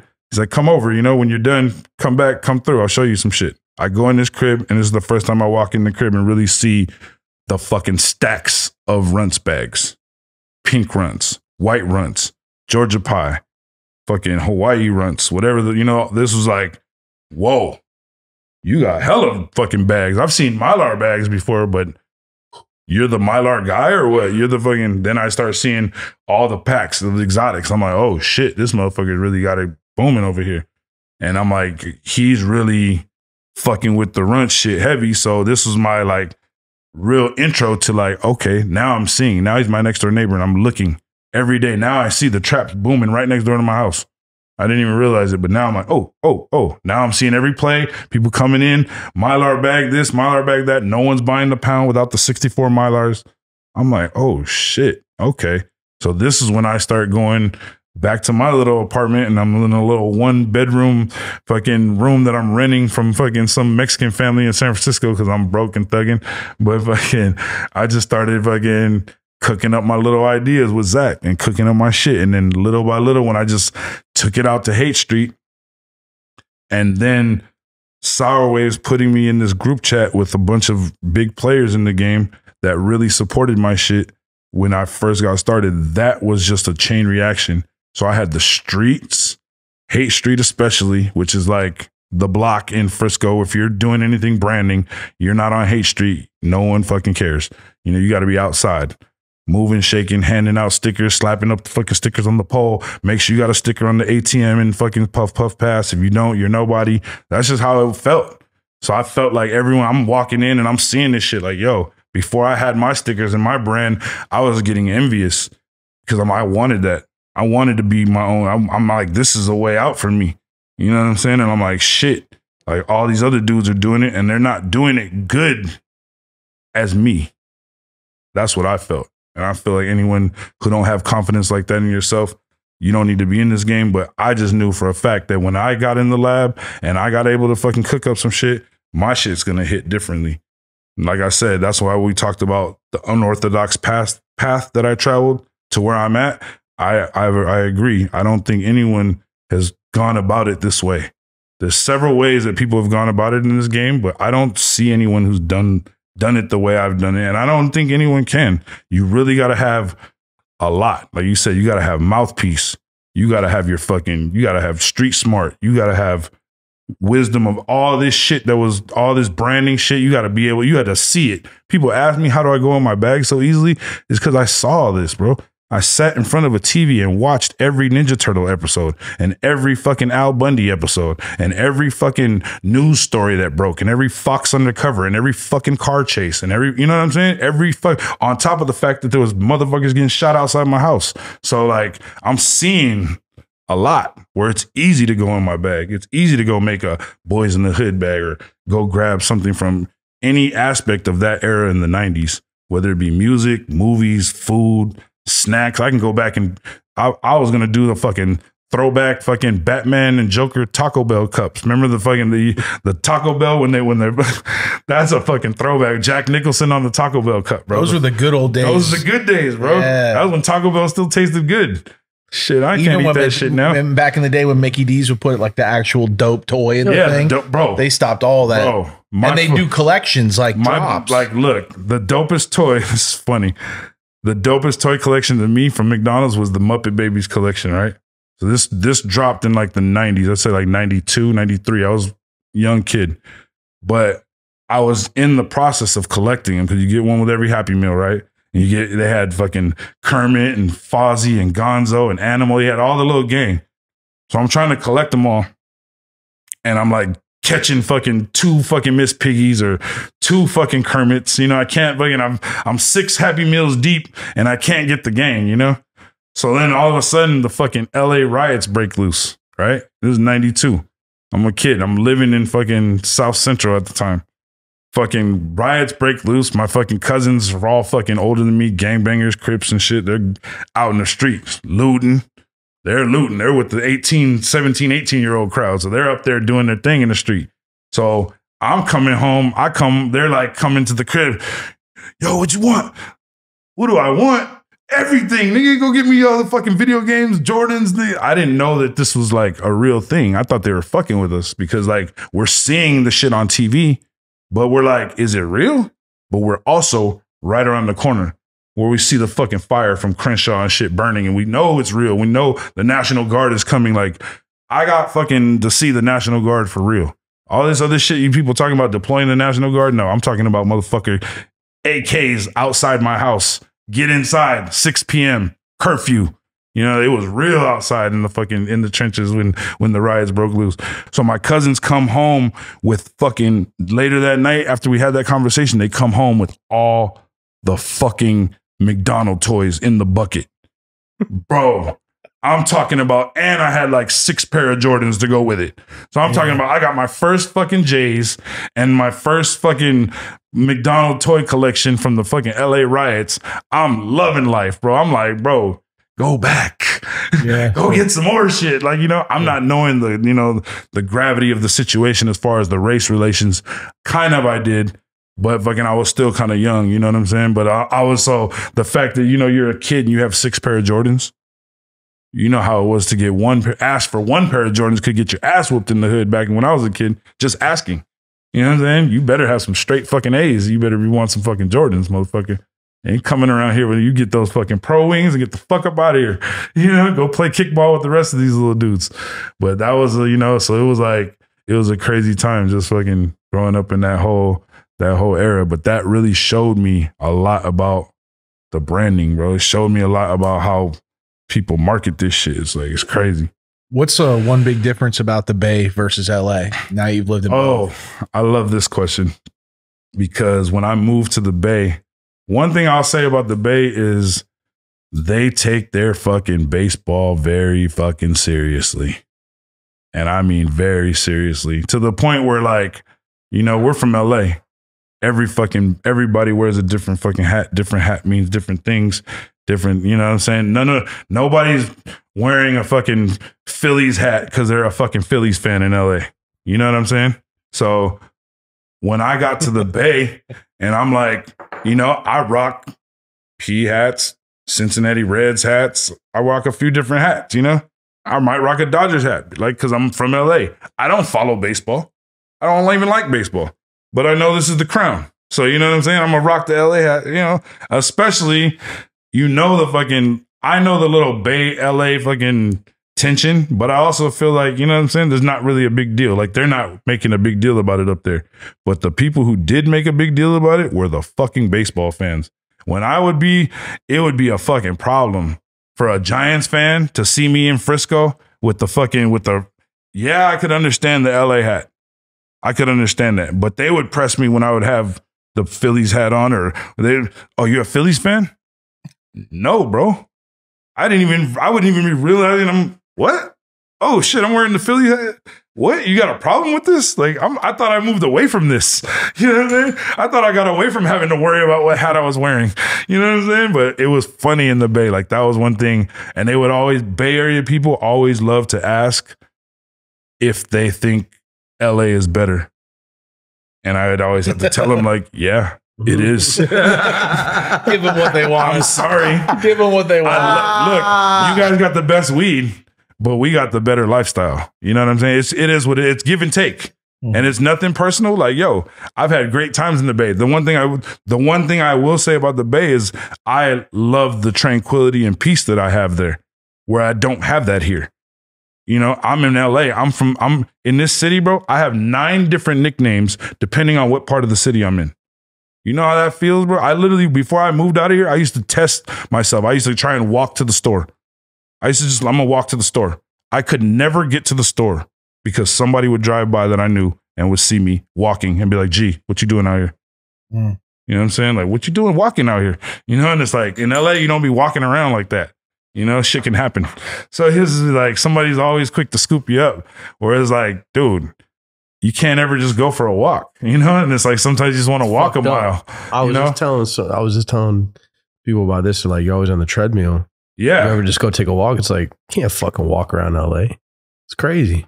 It's crazy out here. And this is the crazy You gotta go to like the reservoir. You gotta like go somewhere to walk. yeah, you gotta go to a, like You gotta a, go like just Runyon a- Canyon. open up a padded a padded fucking running surface somewhere where there's like a lot of fucking white ladies in spandex. They laugh when they say in LA, LA is the only place that you don't like go downtown. Like you, Bro, you we go just all we just around, we just but bent the block. We just bent the block on Skid Row on Sixth Street. My boy right here did was like, "What the fuck?" I'm like, "Bro, this Skid fucking row." It's a movie. What do you mean? I'm gonna get stabbed by a hyper, hypodermic needle out here. You better Yeah. lock your fucking door and keep your hands in the vehicle. If you want to know You what the I'm end of the saying? world's gonna look like, you come out here on six Bro, six. yeah, It's- FSOTD.com, support the show. Please. Maybe we will get out of the hood. You know one day, one day. Hey, that's the goal, That's baby. the thing, man. That's the goal. Hey, I'm sitting here getting inspiration. It's like a- you, hey, bro. you got, you made it out. You It's gotta a- wave people we're- away. we're Get away still from the window. Nah, bro. Nah, it's it's it's a fucking it's a blessing. You guys are definitely fucking. You might be in the hood, but you guys are definitely on your way to fucking superstardom, bro. You guys killing it out here. So fucking yeah, no, it, it's it's part of the grind though, bro. It, it- like I said, you gotta fucking you gotta sit there sometimes and and deal with circumstances that you might not like. And you know, I did that in Frisco. You know, I, but I moved to San Francisco to get away from LA because I was so turned up in the LA life, being that I had family in the music industry, sports industry. I have access to everything. You don't know what that's like having 99% access to everything in LA. Like I said, I was I lived like like like um Turtle from Entourage for a good 10 12 years out of my life. From 2004 to like 2015.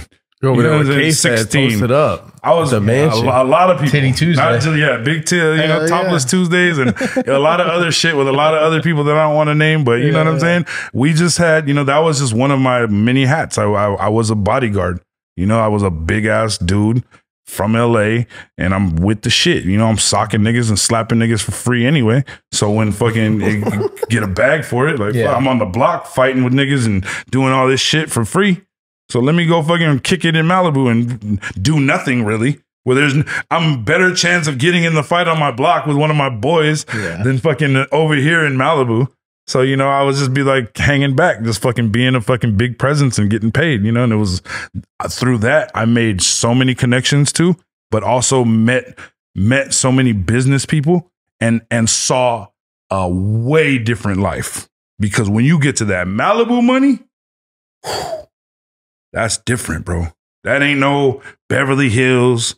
That ain't no Miami. I'm talking about four million, the cheapest property. And that's a fucking one bedroom apartment on the other side of PCH. That's the minimum. That's the bare minimum to get just to say you live in Malibu. Technically, you don't even live in Malibu, but you want to start getting into those big properties on the fucking coastline. Oh yeah, we're talking 25, we're talking 50k or 50 million. Mm-hmm. You know what I'm saying? It's it's it's different money. So when you when you be around that and you're hanging around that, that's one thing I would always like. I was young and I had all this fucking fame and family and shit around me where I could just easily access everything. But I would always like, okay, take these moments and realize like, bro, these are fucking my friends at home are not fucking kicking it with people like this. You know what I'm saying? And I'd go back to the block and people would see me. I'm fucking with my cousins. I'm at Lil Wayne's party and I'm over here rocking out with all these fucking famous people. But then like the next morning I'd be on my fucking motherfuckers who were like when this was social media was first starting too, Instagram, all that shit. Um, they'd see me fucking back on my block in the morning smoking a blunt, eating cereal, but you just go on my fucking shit last night and I'm popping bottles with Wayne in the club. So it's like throwing up bees and shit. Like, what the fuck? What the fuck happened? I'm like, bro, I'm a very, very normal person. As much as I love being out and being in the mix, I love my fucking peace and fucking tranquility, silence, alone time. I need that shit. And I've always been like that. So now when it's just like, shit's sonic shit's so lit on the business end with the with the brand and shit. It's like fuck. I really one of the challenges that I have is finding that fucking downtime. Like that's one of the challenges that I'm having right now. That I say if anything that's like not bothering me, but like just giving me a little bit of trouble. It's just trying to find enough time for myself to stay centered and stay, you know, because it get it gets overwhelming at times with the, you know, I'm a I'm a fucking I'm a really a one man show with a small fucking team. You know what I'm saying? I got a powerful team, but my team is not big. You know what I'm saying? And I don't have a lot of people. You know, I got my fucking guys that help me. These right here. One of my other guys is not here, but there's really like four or five people that I really keep close, and that's it. You know, like everyone else that I try to put on, the people try to bless them and give them access to this wave. And, you know, they just didn't know how to fucking handle the bag or handle fucking building a brand or doing, you know, I had countless people I fucking bring along and tell them, like, yo, come on.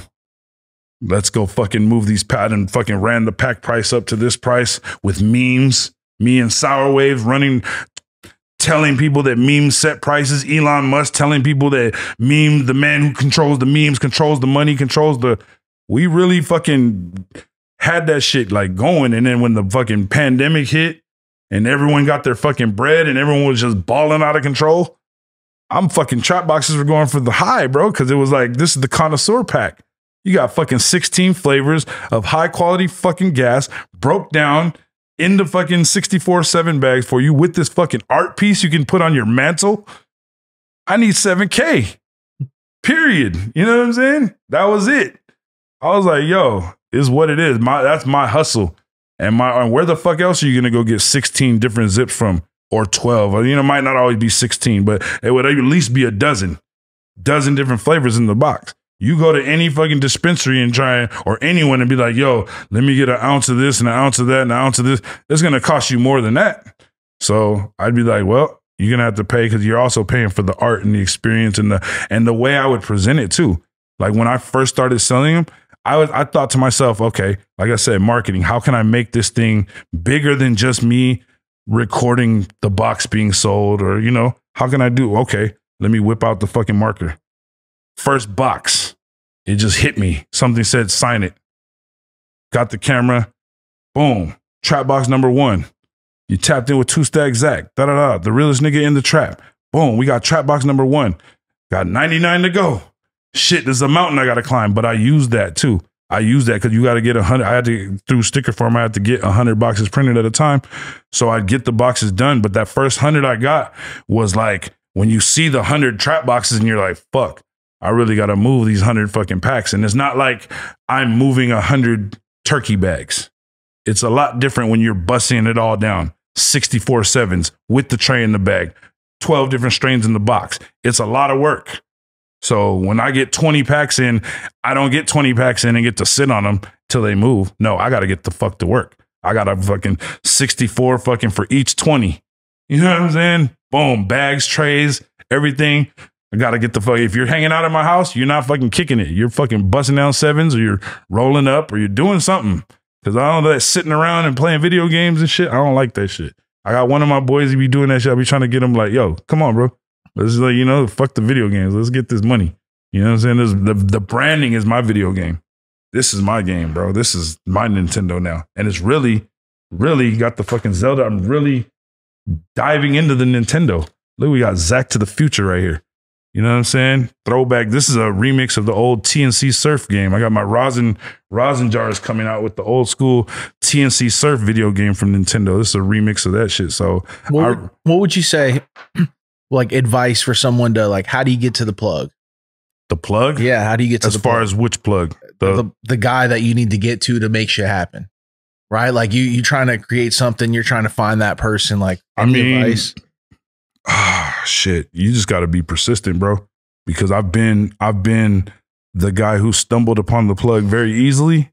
And I've been the guy who had to fucking search and search and find and look. And I've I've been fucking there's certain things that I've been working on and plotting on and trying to fucking figure out how to create and couldn't, you know, it, it, it's just a matter of finding that right person and building it and then really being able to trust that they're going to bring your vision to life because that's the that's the bottom line. It's like are they going to be able to do what exactly what i want? So when i'm really really like my artists for example i'm blessed because they will really like some designers i've worked with where it's like yo they don't they take it personal when you when you want to it's not i'm not correcting you but i'm like it's my vision and i'm paying you so i want it to be a certain way. So we're going to sit here and if you can't handle the fact that me and you are going to play image ping pong till we get this fucking thing right, the way Uncle Zack fucking likes it, then I can't work with you.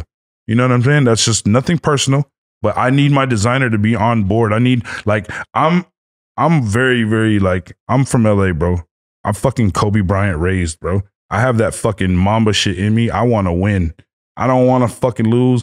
I don't want no fucking slackers on my team. You come to practice, bro. I'm busting your ass at practice. I'm talking shit. I'm gonna make you feel bad. I'm gonna make you feel unwanted. But I'm not doing that because I don't want you. I want you to be able to fucking handle all adversity. I want you to be able to win when I need you to make the fucking shot. When I throw the ball or throw the pack or throw whatever responsibility to you, I want you to be able to handle that shit. You know what I'm saying? So that's why I always use that and I compare myself. I compare Zackwoods to the fucking 2010 Lakers, where hmm. like that year when Kobe just fucking had to go get that fifth ring by himself and he had the broken finger and fucking Sasha Vujacic in his team and just just didn't have a lot going on, but he had went out there and fucking rallied those guys together. That's how I feel like my team is. My team is small, but we get shit done. Like my fucking guys right here, bro. They they heard I'm coming to fucking LA. They're in the Bay. They fucking live. They're fresh out the fucking. We we all fresh out the fucking hotel shower off the road. I'm off the airport. They're off the fucking the highway. You know what I'm saying? They pulled up on me just because they know what this means for us what we've been doing. We've been working hard, bro. Behind the scenes, like everyone thinks, yeah, Zackwoods is cool. It's cool. It's funny, memes and shit. But bro, I'm a fucking hustler, bro. I'll go hard for this shit. I, this is my life, and I don't fucking. I want my boys to be able to fucking eat off this shit. I want my family to be able to eat off this shit. I want to be able to just say that I left something and I did something in a way that no one else has done it, but it still made enough noise to stand up there with the big boys because I remember that shit, bro. I remember when I was little Zack in the corner at the sesh and all the Runtz dudes were over there and the team keep it lit dudes were over there and everybody was fucking popping and selling packs for the high. And I just had my back, my backwoods with stickers on them. I'm just like, hey, I'm lit. I'm here. You know, but I was like, shit. And then I'm looking at Gas House and fucking, oh shit, Kingston and fucking, you know, and and fucking Felix and looking at these dudes and like, fuck, I need to get my shit cracking. Cause like I always felt like, bro, I've been a part of this weed game and selling weed and trapping and taking those trips to Humboldt and doing all this shit for so many years. Like, I was no way I'm gonna sit here and not make a bag off this shit, bro. Not make my life change off this fucking plant that I've been 25 years invested in. So once I saw the path, it was it, bro. Like I went Mamba mentality, like literally Kanye shit. Lock myself in a fucking one bedroom fucking apartment that I still pay for to this day. I don't even fuck. I haven't even moved my. Zackwoods got so popping. I left my San Francisco apartment. I ain't seen the lady in a year and a half. I send her her fucking thousand dollars every month. Just hold my shit, boo. I'll be back soon. I don't know when, but I'll be back soon. You know, and I'm still my block. I'm still got my shit on the block in Frisco. So when I pull back up to the bay, I got to go check on my crib over there. I got bikes in the crib. I got all types of shit over there. I got six bikes. I got a whole fucking wardrobe, 20 bottles of cologne. I got, man, I got a whole life that, that I just left behind because Zackwoods took the fuck off, bro. I li- literally had no time to to go back to Frisco. I don't have time. This is my first time back in LA in a year. So it's like I've and it's not because I don't want to come home. I love it here. I just haven't had time. This shit is I'm I'm a fucking I'm a fucking maniac out here, you know. So I gotta gotta fucking do every aspect of the shit. But like it, I love it though. I love waking up and knowing that there's a fucking challenge ahead to to keep the brand going. Is like, you know, it's a challenge. But for some people, they don't see it that way. It's like they just think it's like, oh, I'm here and I'm lit and I'm gonna be lit forever. But you're not gonna be lit forever if you don't put that elbow grease in. So you got to put that shit in. Don't be afraid to, you know, I carry a fucking Gucci bag, fucking big ass Gucci bag, but motherfucker will come rob me for it. But they'll think all you're gonna get is fucking stickers because that's all I keep in it. Stickers, bro. I keep this Gucci bag filled with stickers because I just need to slap shit everywhere I go. I don't give a fuck. Wherever I go, I'm slapping shit. Why? Because I'm an old school tagger, graffiti, slap, fucking. That's what we do. That's how we get up. We, what we do. You get up back in the day. How you want to be known, whether it was you're a fucking gangster or you're a graffiti dude, you fucking had to take that spray can and go let the fucking streets know who the fuck you were. So that's what I do still. I don't do the graffiti shit too much. I do a little bit with the uh I take I got a couple uh no trade, no play stencils when I'm out and about. Sometimes I get on my and I'll just hit the little no I trade. see him in Wynwood. Yeah, you shit. see, yeah, I'll be bouncing, you know, I'll be bouncing out out the fucking M6 every now and then. Hop back in. you know what I'm saying? But it's good though. It's it's, it's good. To, like I, I love to do that because it's just like I let, it lets people know that you Uncle Zack's out here. You re- they they see this nigga, and everyone knows, bro. Everyone knows. Everyone who's been watching this Zackwoods fucking shit unfold for the last four years. We're gonna be four years old on the first of this month, so Shout out to that. But everyone who's been watching this shit, bro, they know. There's no one who can deny that how fucking how outside I've been. I've left my family. I've left cribs behind. I left I've left Miami. Shit, I haven't even been back to Miami since the last time we talked. You know, we were supposed to link up. We didn't because we were fucking running around like madmen. But I'm in Miami for a week. I go to my crib, sit there for a week, and just decompress all this shit. But it's like it's cool because it's like, yeah, okay. It's like sometimes I think like, fuck, I'm paying for this apartment and I don't even be there a lot. But then it's like, that's my fucking crib, man. I gotta, that's where I built Zackwoods. That's where I literally, once I left Frisco and I came to Miami and I saw what was going on, I made the bag and I didn't do what every other fucking dumbass trapper does is go to fucking live and go buy a fucking, fucking, thousand fucking Gucci bags or go fucking rent 20 fucking yachts every day. I didn't do that shit. I literally like once I made my bag, I was like, bro, I gotta get a crib. I gotta get a Miami crib, and I can't get no fucking regular shit. I gotta get some shit to let these motherfuckers know that I'm chilling and I'm comfortable because I have to be that. I can't be in no little cluttered, cluttered space. My fucking crib is like a sanctuary, bro. Like I'm fucking up there with the view. I wake up with the fucking, you know what I'm saying? Like I'm blessed for that shit. But that shit for me is so fucking the the solitude that it brings me when I can just wake up. got that view. Boom. That's the first thing you see. Boom. Walk in my bathroom, got fucking all my fucking colognes right there. What do I want to get fresh? Ah, get fresh, come out, and now I can create for the day. I'm fresh. I'm ready to go. My mind's clear. I got the view. I got all my fucking living room is basically a fucking Zackwoods castle. It's basically everything that I've built. And I kind of like stack it up like the, all the trap boxes that I've created. They're all in my living room, stacked up and just kind of like on display. So when I walk, when you walk in my living room, it's like you're literally walking inside of my brain. Like I've had people tell me that they're like, bro, like every all your thoughts are on the fucking wall. And like, yeah, because this is what I do. It's like it's it's got to be nonstop for me to consistently create. It can't be no bland environment. I need color. I need vibrance. I need fucking. You know what I'm saying? It's just I don't know. This is me. That's how I get down. So Talk about leaving Frisco. Like what? What? You know what moves you make? Because you didn't go to Miami right away, did you? nah, I um I was in Frisco for five years. So I lived there for uh five years. and it was it was great. I love the Bay. Like one thing I can always say, like the Bay was always when I when I talk about too, like the um earlier how the Bay re, uh ask, always reacts about LA. You know, always asking if LA is better. I feel like LA people, we never do that. We never compare the two cities. We never talk down on the Bay. We always look at the Bay as like, yo, we have this. We're from LA, this dope part of California, but we also have this other dope part of California that you should check out with amazing weed and amazing views. We don't like shit on them. Everyone in the Bay shits on LA for whatever reason, probably because of the baseball shit. But you know, like I said, it's just a it's just a common thing I would always see, like the the the nonsense rivalry. But me personally, it was just like leaving the Bay was never like part of my plan. I was literally the Zackwoods thing doing what it did. Never was, you know, it, was unexpected as fuck, to be honest.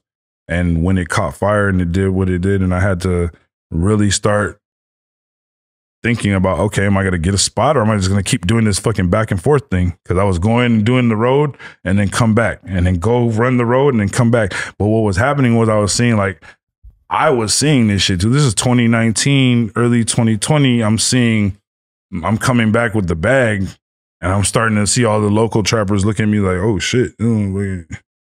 Yeah, with this with these bags and this branding and this other shit. And I went to a completely different fucking state. But also too, people were wondering like, how are you just going to these fucking random states and just popping up like that? But they didn't know that I was 20 years in this game. Like I said, I've been around the country, I've been around the world. So I'm not like new to I got friends in all the fucking different states and shit. So I can easily pick up the phone, yo, I'm coming, but now I'm coming as Zackwoods. I'm not coming as your old homie before. You know, I still am your old homie, but now I got a brand behind me too. So it's like it's different now. I got some homies in Minnesota right now. They're waiting for me to pop out there. And you know, we've been we've been friends for years. You know, we've been doing lots of doing lots of weed ventures and stuff. I don't know if you've seen that picture I posted the other day of uh me and uh want to hear a funny story. Me and uh Sharon Osbourne I had a picture of uh, one of my boys. He came to he came to LA for the first time in his life, and we were I was living in Beverly Hills at the time, so I was like, okay, we're gonna take him. He's flying in. We're gonna take him to do something nice for dinner. You know, take him to the Polo Lounge right there, Beverly Hills Hotel. You know, nice little Drake had just rapped about it in the song, so everyone's like Polo Lounge. Oh yeah, let's go to the Polo Lounge. You know, the bolognese spaghetti is amazing.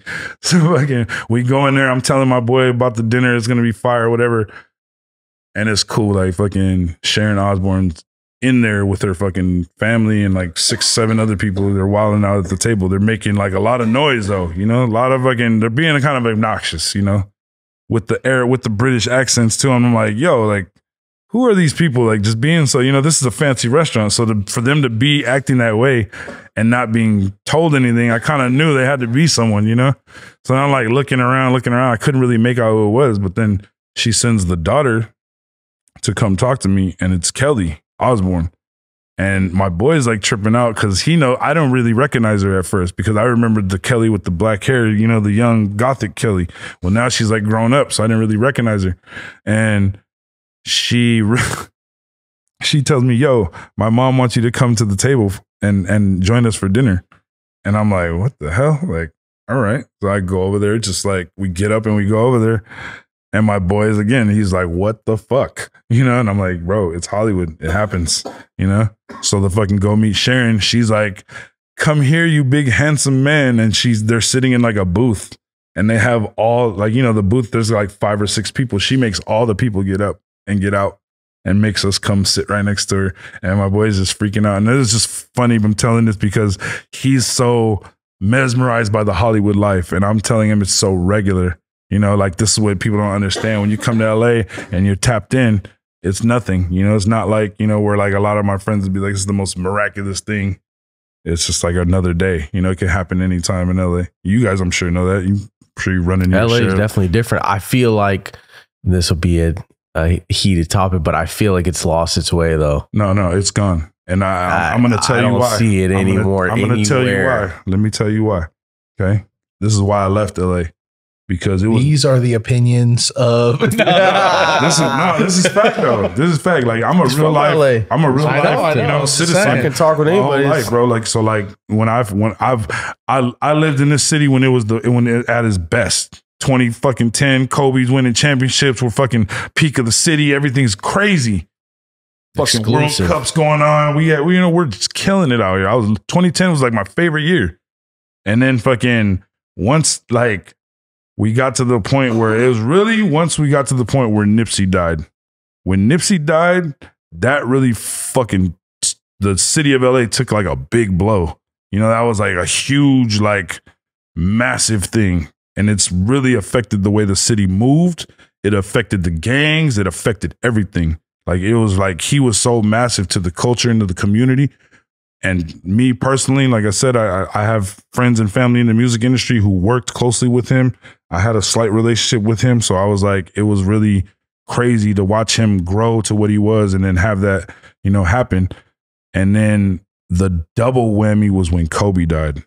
When Kobe died, bro, and then we go to Corona, and then we go to looting, and then we go to shooting, and then we go to it just like that's why I kind of haven't been back in a sense. EDD scams been- were going on, Oh, so all the all hot the boys scamming, from every area everything. came. Bro. You could go on Melrose and you would see it was different crews, and they didn't know each other though. Yeah, yeah. And they're like they're there. watching each other. Like it was just it, things happen to LA that I think were Pop bigger. Smoke. Pop Smoke, PNB Rock. I was about to say PNB, PNB Rock, Rock. was fucking fucked up, man. Bro, all, we just I talked about four tragedies. Yeah. None of those people Yeah, tragedies. Big tragedies. Four, I mean, Big. on and on. And this is what you know. This is what what sadly with the the the rap culture and the gang culture and the all this hip hop shit. It like it it sadly has this fucking this aura around it. If you know, you know. I know. I've been in the music industry. I got family members that were rappers, and I, I did all that. I went on tours and I've been around there. You know, I've been in shootouts because of rap, not because of gangs, not because of where I'm from, not because of this, not because of any of that. Because fucking one rapper or one fucking person, fan from some other fucking city that didn't like this rapper, didn't like what you said, tried to come take our fucking lives. You know what I'm saying? Like that's crazy. So that's why I was like, in the in the midst of me living that living that um entourage style life I was living where I had access to everything. I was hopping in hundred thousand dollar cars every day that weren't mine, but I could drive them fucking every day. Didn't matter. I'm driving down Sunset in a cream Bentley with the top back blowing gas. Don't matter. Who fucking knows if it's mine or not? You're in Hollywood doing your thing.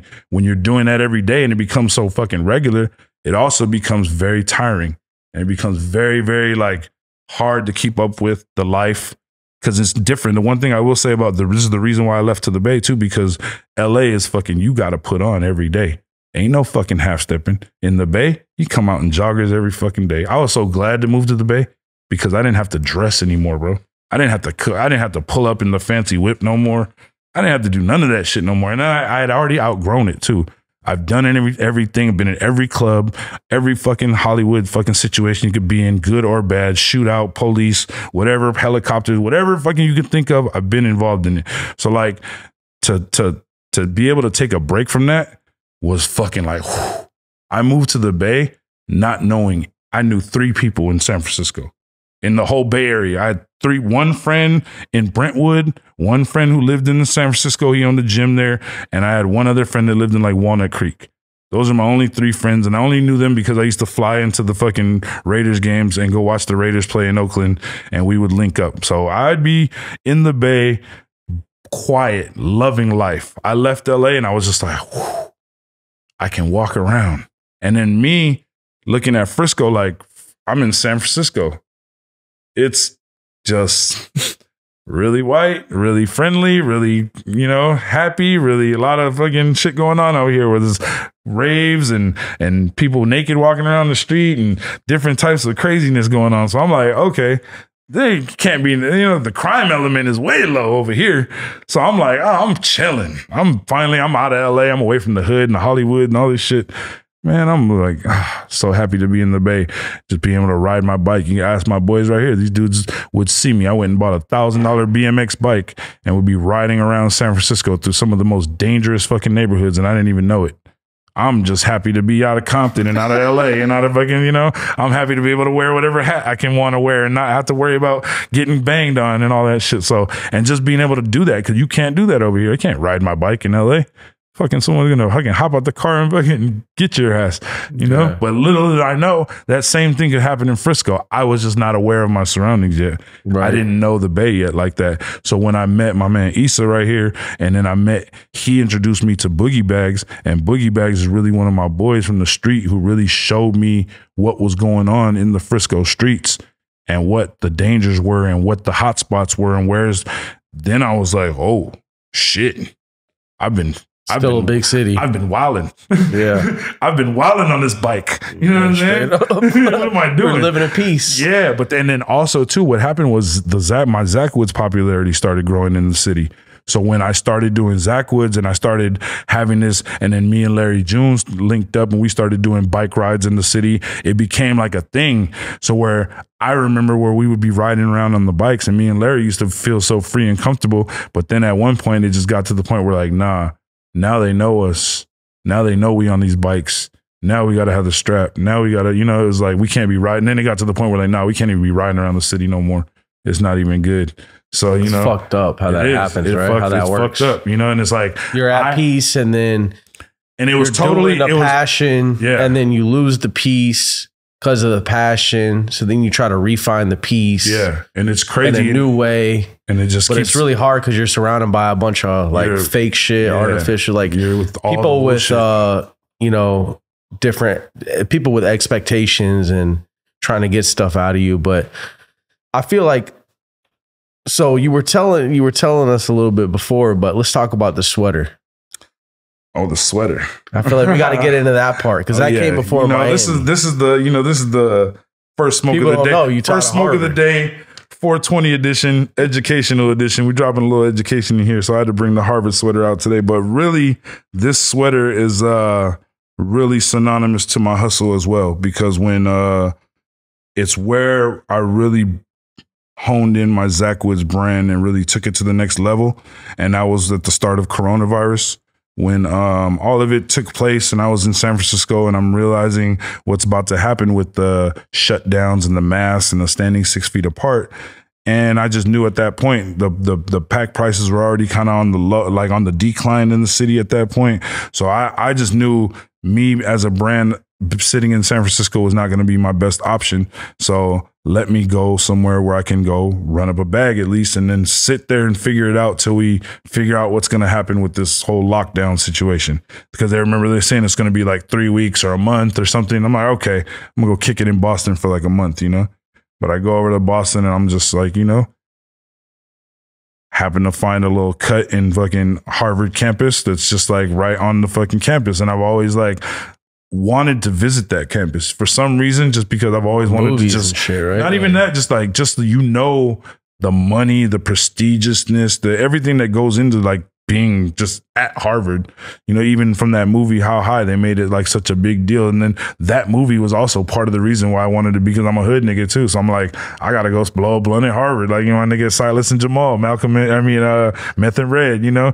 So I'm like, let's go, you know, let's go see what's good over here. But I had just been there recently and I had a very good out out um outpouring of support from from the community.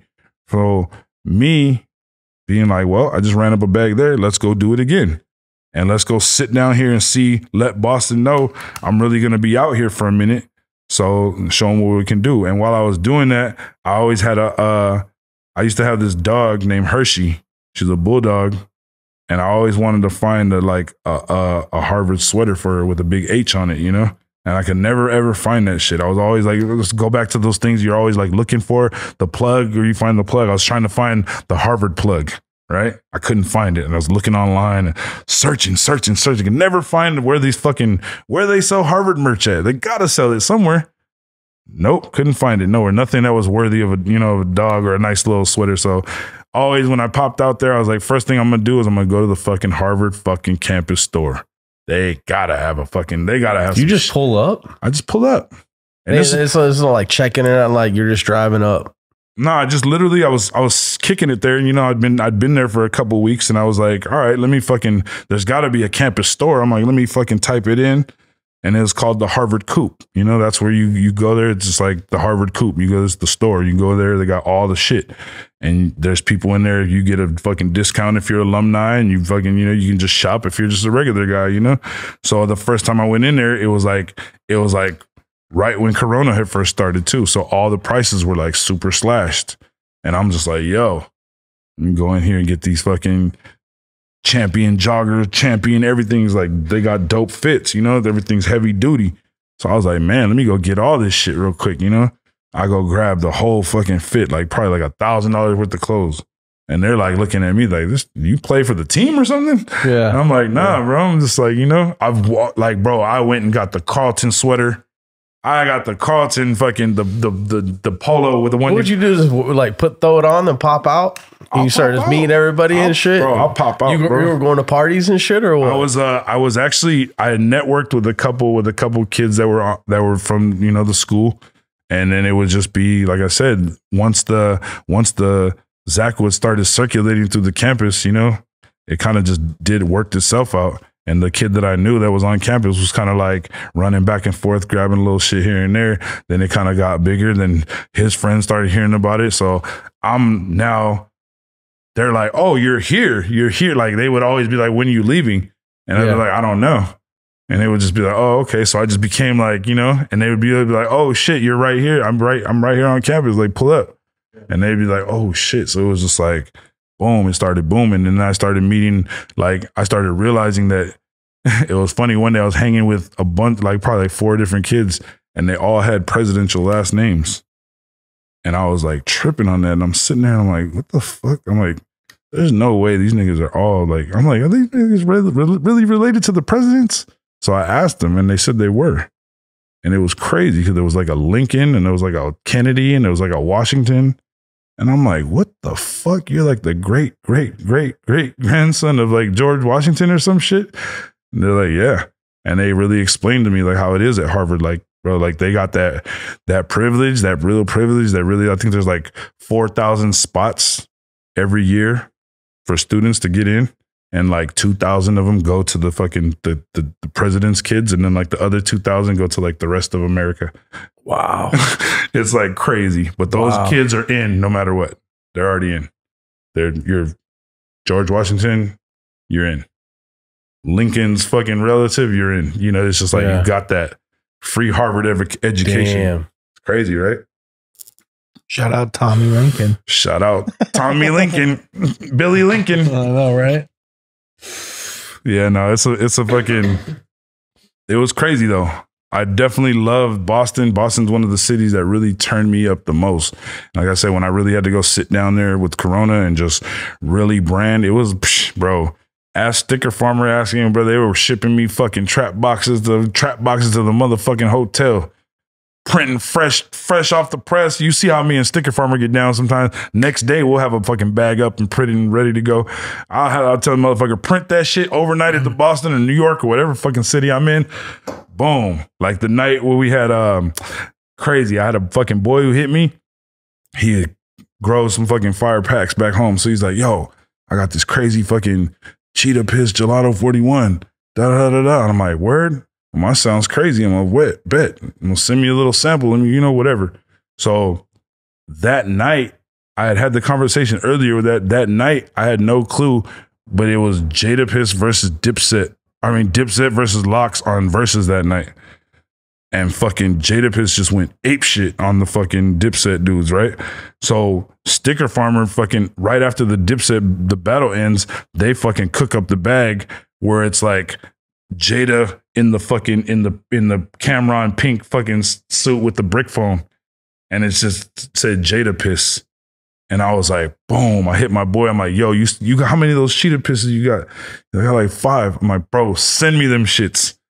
I got the bag for him right now. I'm in New York. The fucking verses just ended, bro. 24 hours later, I had Jada piss pumping in the streets with the piss on Dipset fucking shit. No disrespect to Dipset. It was just part of the Mylar bag. But it was like, it was funny though. We had fucking Jada trolling with the fucking brick phone and the pink fucking fur, like looking like Cam'ron, you know. That shit shakes up the street. It shook too. up It's the street, that- bro. I was in funny how that I works. 20 because they end up hearing about it and seeing couldn't, it. be- they couldn't believe it. all it. the crews talk about it. They couldn't it. believe that. They were like, bro, did, is this with Jada? I'm like, no, it's not with Jada. I'm like, no, Jada didn't approve this, but we just Yeah. did this one for the street because he turned the fu- he turned the streets up that night. That night, bro, he let he put hip hop on notice. I was so happy to see that shit too because I love Dipset and they are fire and they got fucking fire songs, but Jada is one of them boys with these bars. You do not play Bro, with him. That dude's still you do rapping. not I'll just play leave it at with that. Jada, bro. You leave Just that leave man alone that. when it comes to rapping. He's talking some crazy shit with his, Right. He's clever. Wordplay is. yeah, no, out of this, out of this world. So I, He'll sit there and tell you a story, but he's rapping. Yeah. oh, yeah, And it'll all be like, you We're know, going to be able to ask someone tough. that's real close to him some questions yeah. pretty soon. Dope. Oh, yeah. yeah, Like no, he's he's up. uh he's uh he's very cannabis friendly, and he's definitely uh I, I remember doing a sesh when when when the sessions first started in Miami. Uh, I remember he was at one of them, and he came through, and he really was fucking with the Yeah. Zack. He was He fucking. with comes the- to all of them. he them. was Like if fucking they, with the if they Zack with bring him through, he comes Yeah, through. no, he comes guys. through. Yeah, he came They check through. out every table. Yeah, he came through. I've been there multiple he- sessions and watch how he moves. I'm Yeah. like, this dude's a he literally dude. pulled up on me Yeah. and showed me love. And it was funny too, because Cam'ron actually came to assess too and did the same thing. Cam'ron came through and was like, bro, you got some gas over here. Like, I need this, you know, this and that. I'm like, Cam, you, you know it's good, bro. You know what I'm saying? Take a seven, bro. It's on me. You know what I'm saying? Don't trip. But like it's still, you know, it's always good to see those dudes that, you know, that I respect real hip hop too. Like I respect all these dudes that really come from that that real life. So anytime it's like, you know, it's a blessing to be able to to to sit back, smoke, and get the opinion. Like Jada sat there and chopped it with him. He was like, bro, same thing that you know, pretty much you and everyone else tells me. You know, I love the branding and I, you're you're everything, and I'm just like, you know, I appreciate that shit. You know, it's, that means a lot. Cause it's like for people to go out of their way to say that shit, I know this shit all looks flashy and da da da da, but to some motherfuckers it could look whack, you know, and that's their opinion. That's cool. But the fact that 99% of people tell me the the opposite, that it looks dope and it looks, you know, it just lets me know that I'm cooking with fish grease and I need to just keep it going. You know, that's it. Straight up. I Yeah. mean, so from Boston, you know, and you pop around, I pop around. So where does Boston, it go from there? You know, like Boston I know you end up in Miami, really and that's kind of really went from Boston. When I was in Boston, I was doing a lot of New York running, DC running, um, Providence, Rhode Island. I was out there. I was up in uh, upstate New you York. road running as you- when you're running. Bro, road running, bro. Literally getting kicked off of Turo, getting kicked off of the Getaround got app, kicked off getting Turo, kicked for off of fucking. You know what I'm saying? Like, smoking in the car. I didn't even do. bro, I shit. don't even think I got kicked off for smoking. I think I, I don't know. That sounds guilty. Nah, man. That guy fucking. I left like a lighter in there. And shit. I think I got kicked out for extending too many days. I would just keep extending, extending. It's like, bro, you're getting your money. Why the fuck are you? Why you hating? Yeah. you just made two bands. but like, you know, fucking need my car back. I need my car back. Well, fuck. You get the- get the yeah, you should have rented it banned out. him. Right. Permafade banned him. What? no, our homie who always has like six cars on Turo. Talk about the grinder a little bit. Oh, you like that? Yeah, Easy, yeah, bud. yeah. I didn't mean, I didn't mean to, I didn't mean to pull that up. Nah, on you guys I like that. You know what I'm saying? I didn't mean Don't to whip work that. too hard over there. You know, you know where you know it's about making life easier these days. You know, so I, That's pretty crazy. You just though. push it down and it, Yeah, this is my new grinder. It's the um, it's the Zackwoods Nine Whack thousand. It collab. The brand is called Whack It Grinders. So I did a uh, I We're linked I linked up with them. Wow. I saw the I saw the saw the We'll we product show that. and what it could do. We will. And saw that it wasn't had no, crazy. no blade. I've always been a fan of uh, I've, yeah, it's like a bead chain. Yeah, it's, it's like, like the end chain. of the thing that you use to shut the blinds. yeah, yeah, Yeah. So when That's I cool. So, you know, We'll show. We'll show it on that. Growing up, I always had a coffee grinder. You know, that was always like our little thing. We grind with the coffee grinder, but the coffee grinder had the blades and it would grind too much, you know? So you would just, crazy. this is kind of like perfect and it has the little pressure gauge where you can kind of just push down and just give it a couple little zaps and you get this perfect little flower right here. You don't got to, you know, do too much. It's all ready to go. Damn, that's cool as use it real man. quick. And this, yeah, give it a give it a try. Just don't make sure it's not. Yeah, don't put too much. Just a nice little couple grams, or yeah, there you go. Yeah, Yeah, nice and chunky. depending on how chunky you want it, you can give it a You can go more fine if you yeah, want. Yep. exactly. So pretty much is how how you want it. How many seconds you usually? I usually give it like two, three zaps. I don't really unless three zaps. unless it's There you like go. yeah, Two, three You know? Zack. I- the- two, the- three zaps, two, two, three three zaps zaps from with the Zack. You know what I'm saying? Zack machine. Like right here, you just set it up and give it a little. You can kind of hear it though too. If it's like you're sometimes you have Yeah. nugs that are a little bit more dense, so you might have to hold it a little bit. But two, three zaps like that, you should get a nice. Like that one's a little bit more clumpy. See, yeah. you might have to give it one more little. But you little extended zap. You, can yeah, a little extendo, but then you see, you know, you see it. You can hear when You gotta finally- feel it out. Yeah, exactly. You can What's your it. favorite thing you're smoking on right now? Favorite thing I'm smoking on right now. Okay, ah, this is my time to shine. I'm gonna let my boy get some burn right here because this fucking pink starburst from my boy Cash Rules, one of my partners from New York. This shit right here, I don't know. He kind of told me he was like, I kind of want to get away from the Z and I kind of want to get away from the candy, but it's got some, you know, it's got some other little nice little notes too. You could check that out. Then I got this other stuff. My bo- my breeders. What do you think about all the small batch stuff? I love it. I love it. I've never I one see thing. you, you grab some shit, right? You grab thing- some yeah, Orcon Nemo yeah, and shit. What you I think about it? definitely, I, I mean, I'm. I feel It like smells great. I feel like I had. A, What is it? What is this one? That's called Pink Starburst. I don't know what the genetics are on it, but he's probably keeping that hush hush. I think. But it's it's some it's some nice. We can roll that up. I have this other right here. This is uh Jello Z and Biscotti. This shit's crazy. Let me check that out. I actually like biscotti. Smell that and then like crack the nug open and smell it. It's like got like two different noses on it. And then I have here I have some. This is that Smells funky. bubblegum Z. Oh no wait. Are those rosin? This is sour, mm. actually. I'm tripping. What's uh what's in the uh, Um, these are actually empty right now. They're just they're Oh, just okay. uh, they're, they're just the first art displays, the first ones I got. So I had to bring them just to you know Yeah, yeah. let yeah. you guys see them. But the rosin that I I'm using is uh for those is a collab I have with Mystic Melts. So this is my boy Mystic Melts right here. He's got some fire orange guava cake, and we just basically did a um I did a whole line based off the like T&C Surf video game, and kind of just like took all his flavors and kind of just you know made different strains for him with different little incorporated the I have a little Zack cartoon that I use on every everything. Like I have him right here on my Zack leaves the little cartoon Zack. So we keep him in the loop right there. We got him on uh, a few different things. He's on the surfboard and he's you know counting money. Kind of like to keep him busy out here.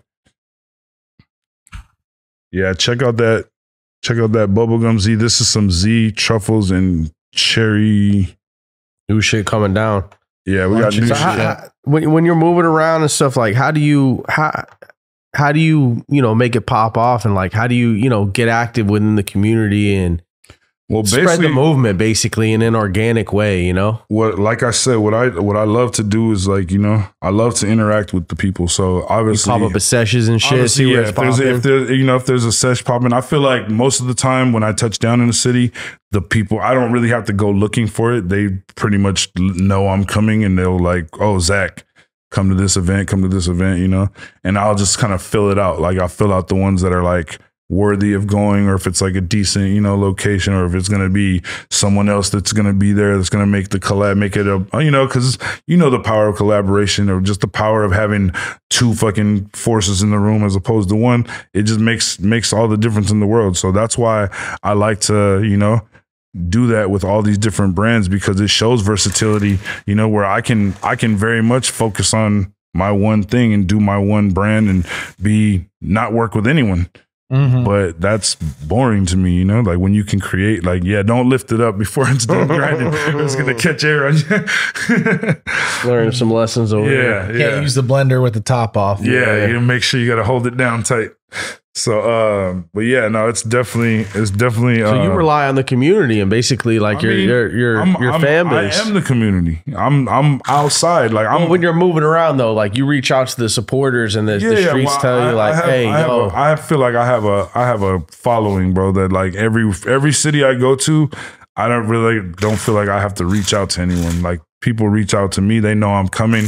They know I'm bringing the Zack leaves. They know I got cannolis. They know I'm coming with the you know the heavy hitting shit. And if you haven't smoked a cannoli, my God, you're missing out. This is the fucking illest hash hole blunt in the game. Two and a half grams of flour with a gram of fucking Mystic Melts rosin. you you roll the cannolis. I roll the cannolis. And I'm I Dog, roll, how, how do you find time to do all this shit? Like, I really just fucking like I said, I'm a beast, bro. Like I, I really don't have much time. do you Like, have like a system, or do you just kind of like no it started it started how it off freestyle and then like once I kind of got to the point where I, I had like some structure and I had like uh, my own place to create like because when I, when I was doing it in San Francisco it's like I'm doing it in a fucking apartment that I'm sharing with fucking a family that's got three kids running around and outside my fucking room you know that's crazy You know, Yeah. you're trying to build a brand, you can't do that, and then just survive the streets and pay bills and do all the regular shit. So once I got to Miami, and I really had that ability to just wake up and just be at peace and be fucking totally alone.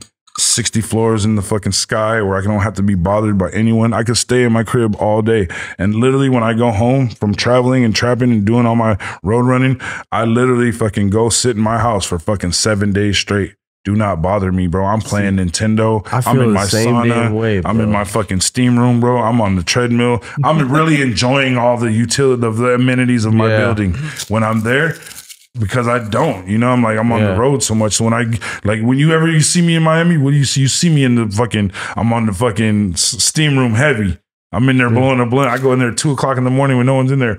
Big blunts in the steam room. You know what I'm saying? Talking Pax language, Oh man. yeah, oh yeah, big big language, you know, big energy right there, bro. I'm I'm a, that's the true way. Like I used to fucking, I used to fucking have a cousin that played in the NFL, and he we, we would fucking wake up in the morning after his games and go fucking. He had a steam room in his crib.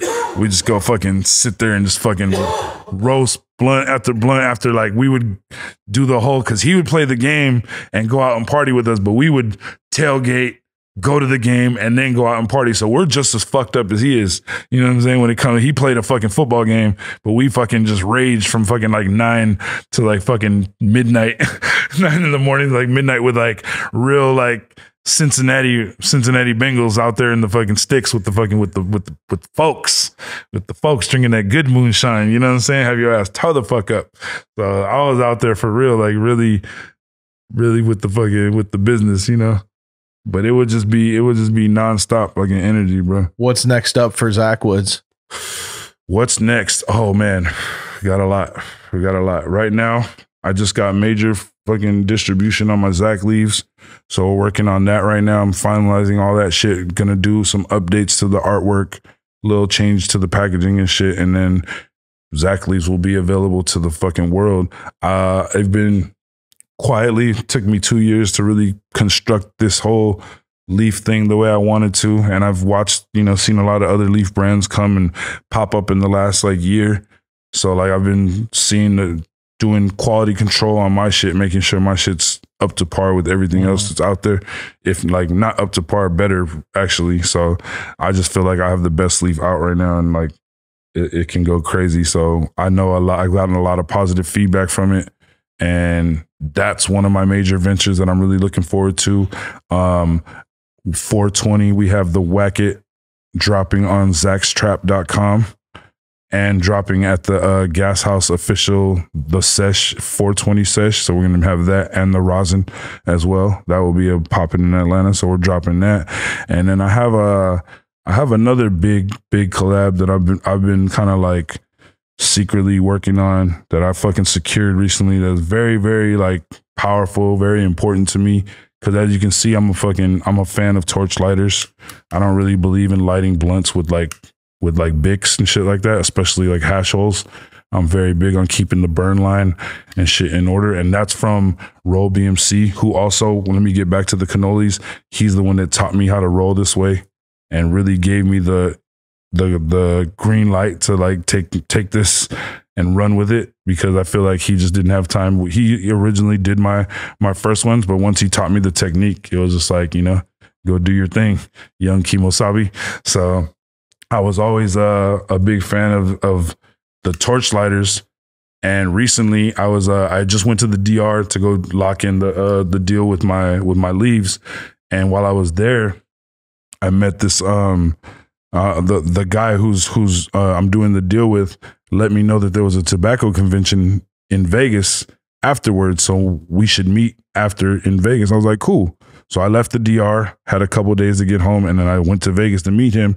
And we went to this tobacco convention, and I'm walking around, and we're seeing all the other leaves, and we're seeing everything, every brand that's out there that's got a leaf. So we're, you know, I'm showing them our leaf and then bringing in. They're like, oh, they're oh, who's your distributor? And I'd be like, oh, well, he's right here. You know, and they wouldn't expect that. So I didn't let him walk in. I'd kind of like grease the wheel for him and just let him roll in and kill it. You know, so we're over there getting accounts and shit. And I'm showing, I wanted to really show him who I was because I was just telling him in the DR. I couldn't, I could only tell him so much. I'm Zackwoods. I'm a weed brand, blah, blah, blah, blah, blah. You got to really see it though, because I knew all the big brands were going to be there weed brands, tobacco brands, whatever. So once I was there and I started like kind of like we started kind of locking in accounts, then I was like, yeah.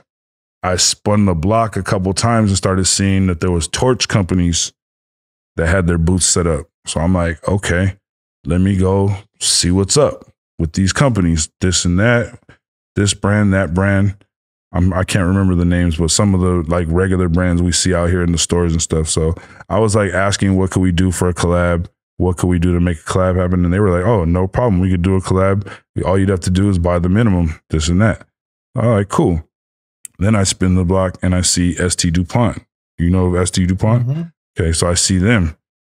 And if you know anything about ST DuPont, they are the fucking Ferrari of lighters. They are the Michael Jordan of lighters. They are the fucking 96 Bulls of fucking lighters. Do not talk to me about anything else. So these motherfuckers, I just been, been kind of feeling myself because I've already gotten the nod of approval from these other fucking companies, right?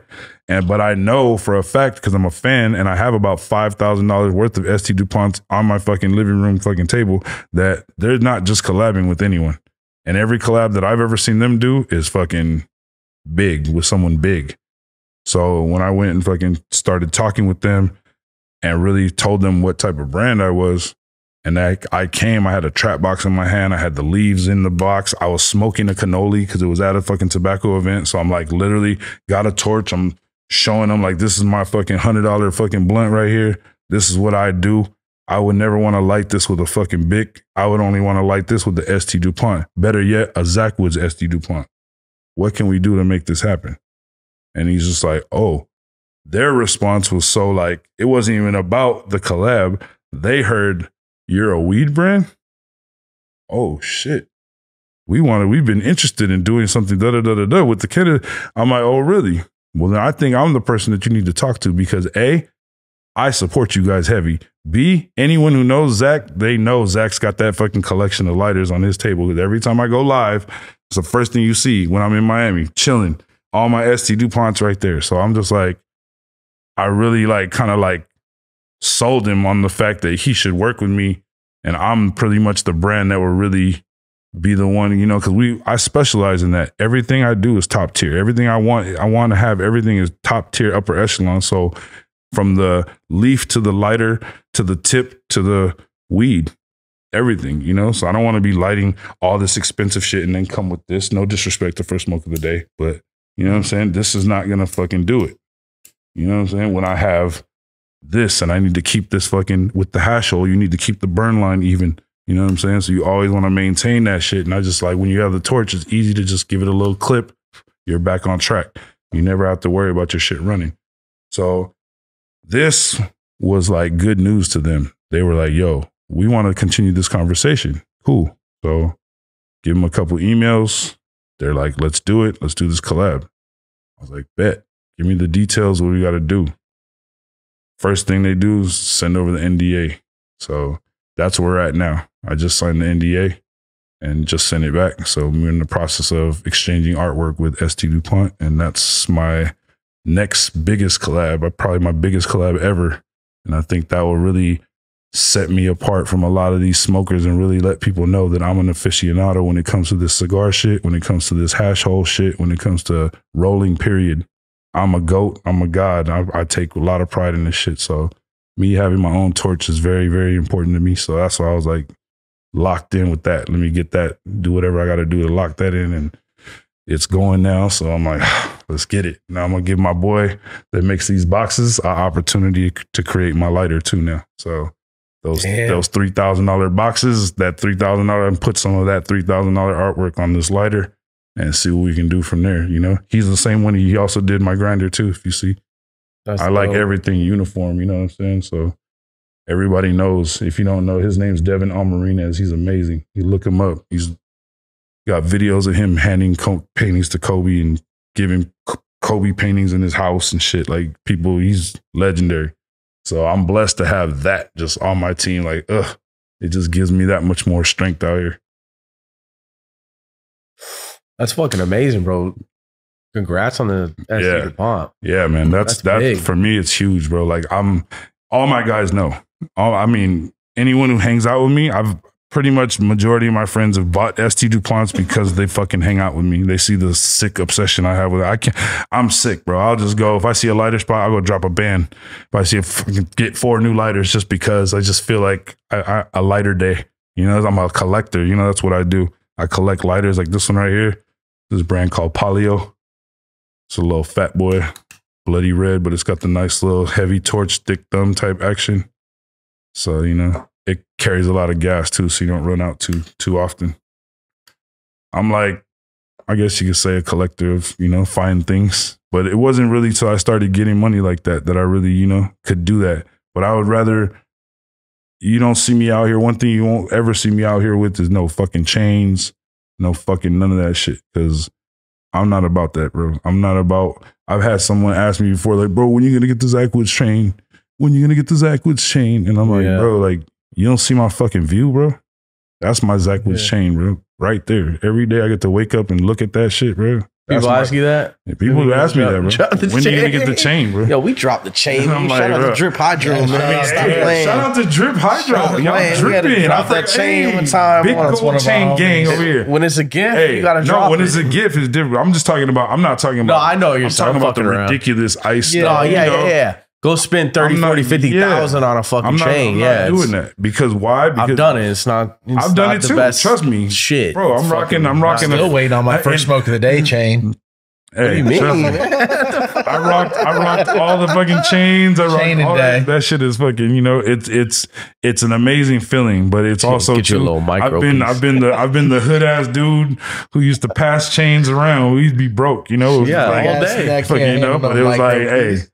Whatever We you were- had to I do to remember going to Canal Street with this dude. We were buying fake APs, looking at them Oh, and yeah. shit. It's Oh, like, yeah, you I, had, the- I had the fake Breitling at one point. I was Oh, rocking. I was man. I never really had the nerve to rock them, but I, I grabbed like I was one young. or two to I have was it. but Like, you know, it was you an experience. You know what I got? This was this was probably in the early 2000s when the fucking downtown LA fucking wave was hot.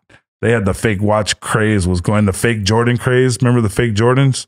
No. You guys don't remember the fake No. Jordan craze when the fucking Dub We're from Zero- Florida, man. We're Oh, Florida okay. boys. Man, we had this fucking. We had I this. we, we had this. We, shit, had this point in time, bro. And. We had this point in time in LA where, bro, like ni- DCs. niggas were dropping fake Jordans. Yeah. There was like colorways you'd never seen before. Motherfuckers out here buying Jordan for sixty dollars, random ass colorway, thinking you can go hoop with them in the game. They can get to the game and just clack, ah, fucking ankle be all over across the street, bro. This is, oh my god, it was Holy fucking madness, shit. bro. Anybody, anybody, bro, you'd be buying size thirteen Jordans in a size twelve box. Like, what the fuck is going on over here? The fucking box all fucking look like it been through hell, but the shoes are brand new. Like That's what? LA in a nutshell. That's LA in a The nutshell. fake, yeah, the fake Jordan craze, bro. Anybody know? I think that shit was around, around 2005 to like 2008. It was around that time. It was booming though. Motherfuckers out here, fake dub zeros, fake fucking all type of shit. I couldn't do it though. I'm a size 14, so I can't do fake anything if my, my fucking foot will destroy it. You know what I'm saying? Like, Straight up. Absolutely not holding 300 pounds. Like, nah. People going to be able to call them out. Oh yeah, no, I'm. I. That's just something you can't do, bro. You can't do the fake anything. Even the diamonds and all that shit, bro. If you're gonna do it, do it right, bro. Don't be out Yeah. here fucking getting diamond tested and your shit's not fucking a one. You're out here It's looking crazy they stupid. do that. Uh, bro. It's crazy. It's crazy, but what do you think? These motherfuckers, we live in this internet era where everyone wants to fucking try and prove you wrong and prove that you're not really what you are. So it's like, you know, you gotta really, gotta really carry it that way. That's why I don't need no fucking chain. Yeah, I'd rather not have it. You know, it. I'd rather not have it, Yeah. and not even for that. Like real talk, bro. I'm gonna keep it 100. Like the real reason.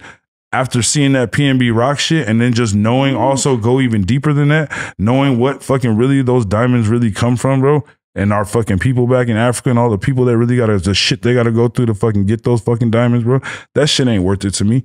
I don't fucking, I don't want to, you know, like, I know fucking we're in America and a lot of people just think bling bling and that stupid like culture like that. But, you know, you got to really think, bro, sometimes this, this shit be deeper than what, than just the shine. And, you know, you don't really know the source of where some of these shit, this shit comes from and who fucking lost lives and blood and family, you know what I'm saying? Because of this shit. So I think about that. And that's another reason why I just, you know, I stay away from it. But I just don't want that energy too. Like that shit don't do nothing in this culture. What is that gonna do for me?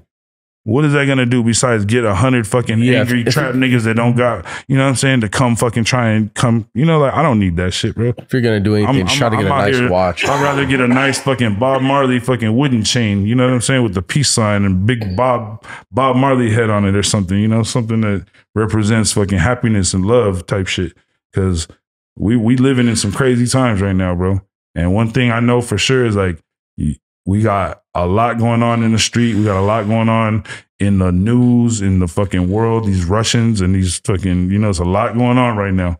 So we got to pay attention and you got to stay focused out here, man. You got to make sure you you eating a balanced breakfast, getting those fucking nutrients, make sure your brain functions. You know, you're not waking up just eating rodeo burgers and shit. So, you know what I'm saying? Like we gotta fucking AM PM sandwiches and shit like that. Nah, bro, we gotta fucking really be feeding your mind out here because you gotta stay sharp. And this is how I feel. It's like too much going on. You gotta stay focused. And it comes to building your brand and staying safe and you know what I'm saying, making money. You gotta like I have so much to juggle every day with all that. On top of the fact that I still gotta make memes and be two stack Zack, and you know what I'm saying. But it's like it's it's like I said, it's part of the challenge. Every day is like I wake up and do this shit and just be like, man, it's lit. Cause I used to wake up and fucking duck bullets. You know what I'm saying? Like wake up and just be in a fucking place of fucking hell that I really would sit there all day and want to want to figure out a way out. So well, now that I fucking figured that shit out, it's like, bro, you gotta make sure you go hard and never go back to that shit, you know? Where can people find you at? They want to reach out. Uh, you can find me on Instagram at Zackwoods the brand until Instagram whacks that page. Then you can find me at Zackwoods forever until they whack that page. And you can find me at Legend of Zackwoods two. and uh, also I'm on uh, YouTube, YouTube TV. You can check out my YouTube channel, uh, Zackwoods TV. I mean, and yeah, pretty much it. And pretty much on the gram. I'm on all the fucking Telegrams, Snapchats, all the other shit. You can just find me. Linktree, Pony Express, whatever you need. You know what I'm saying? Straight up. we outside. Oh, tell Oh, any shout outs? Yeah, I definitely want to give a shout out to my man Sour Waves, my big bro Champelli, my brother right here Issa, my man Hans right here, Boogie Bags, all my guys that really, you know what I'm saying, hold me down out here and really help me push this shit to the next level. Sticker Farmer, you know, I'm a, I'm gonna forget some people already and already I know, but it's just like a lot of people that really been a part of this shit. I-95 South Exotics, a lot of fucking people on my team that really just been down for the Zack, man. I just I'm blessed. I'm blessed that they just keep me keep me in their good graces, man. I got my man Issa out here throwing me alley oops. He just threw me the alley oop with the leaf play. You know, told me nine one one. You got to get on this fucking. Got to get on this flight. Got to be on this flight to go meet the big dog. And I'm coming out of the fucking doing the squints fucking. You know, whirlwind of doing the squints trap lot event. You know, I just had that done Saturday. Monday morning, I had to be on a flight to DR to meet some dude I never met and but it was what I had to do. You know what I'm saying? It was like I didn't think about it. I didn't fucking blink. I just booked the flight, got my passport, went and fucking knew that this trip was gonna fucking change my life. And it like literally did. Like not even just from a financial aspect yet, because we haven't even really started to go crazy yet. But it was like an adult field trip. You know, you know that feeling you have when you go when you were a kid, you're going on a field trip. It was like a fun ass day. You're gonna have fun all day. It was like some you're gonna learn some shit. You're gonna do some shit.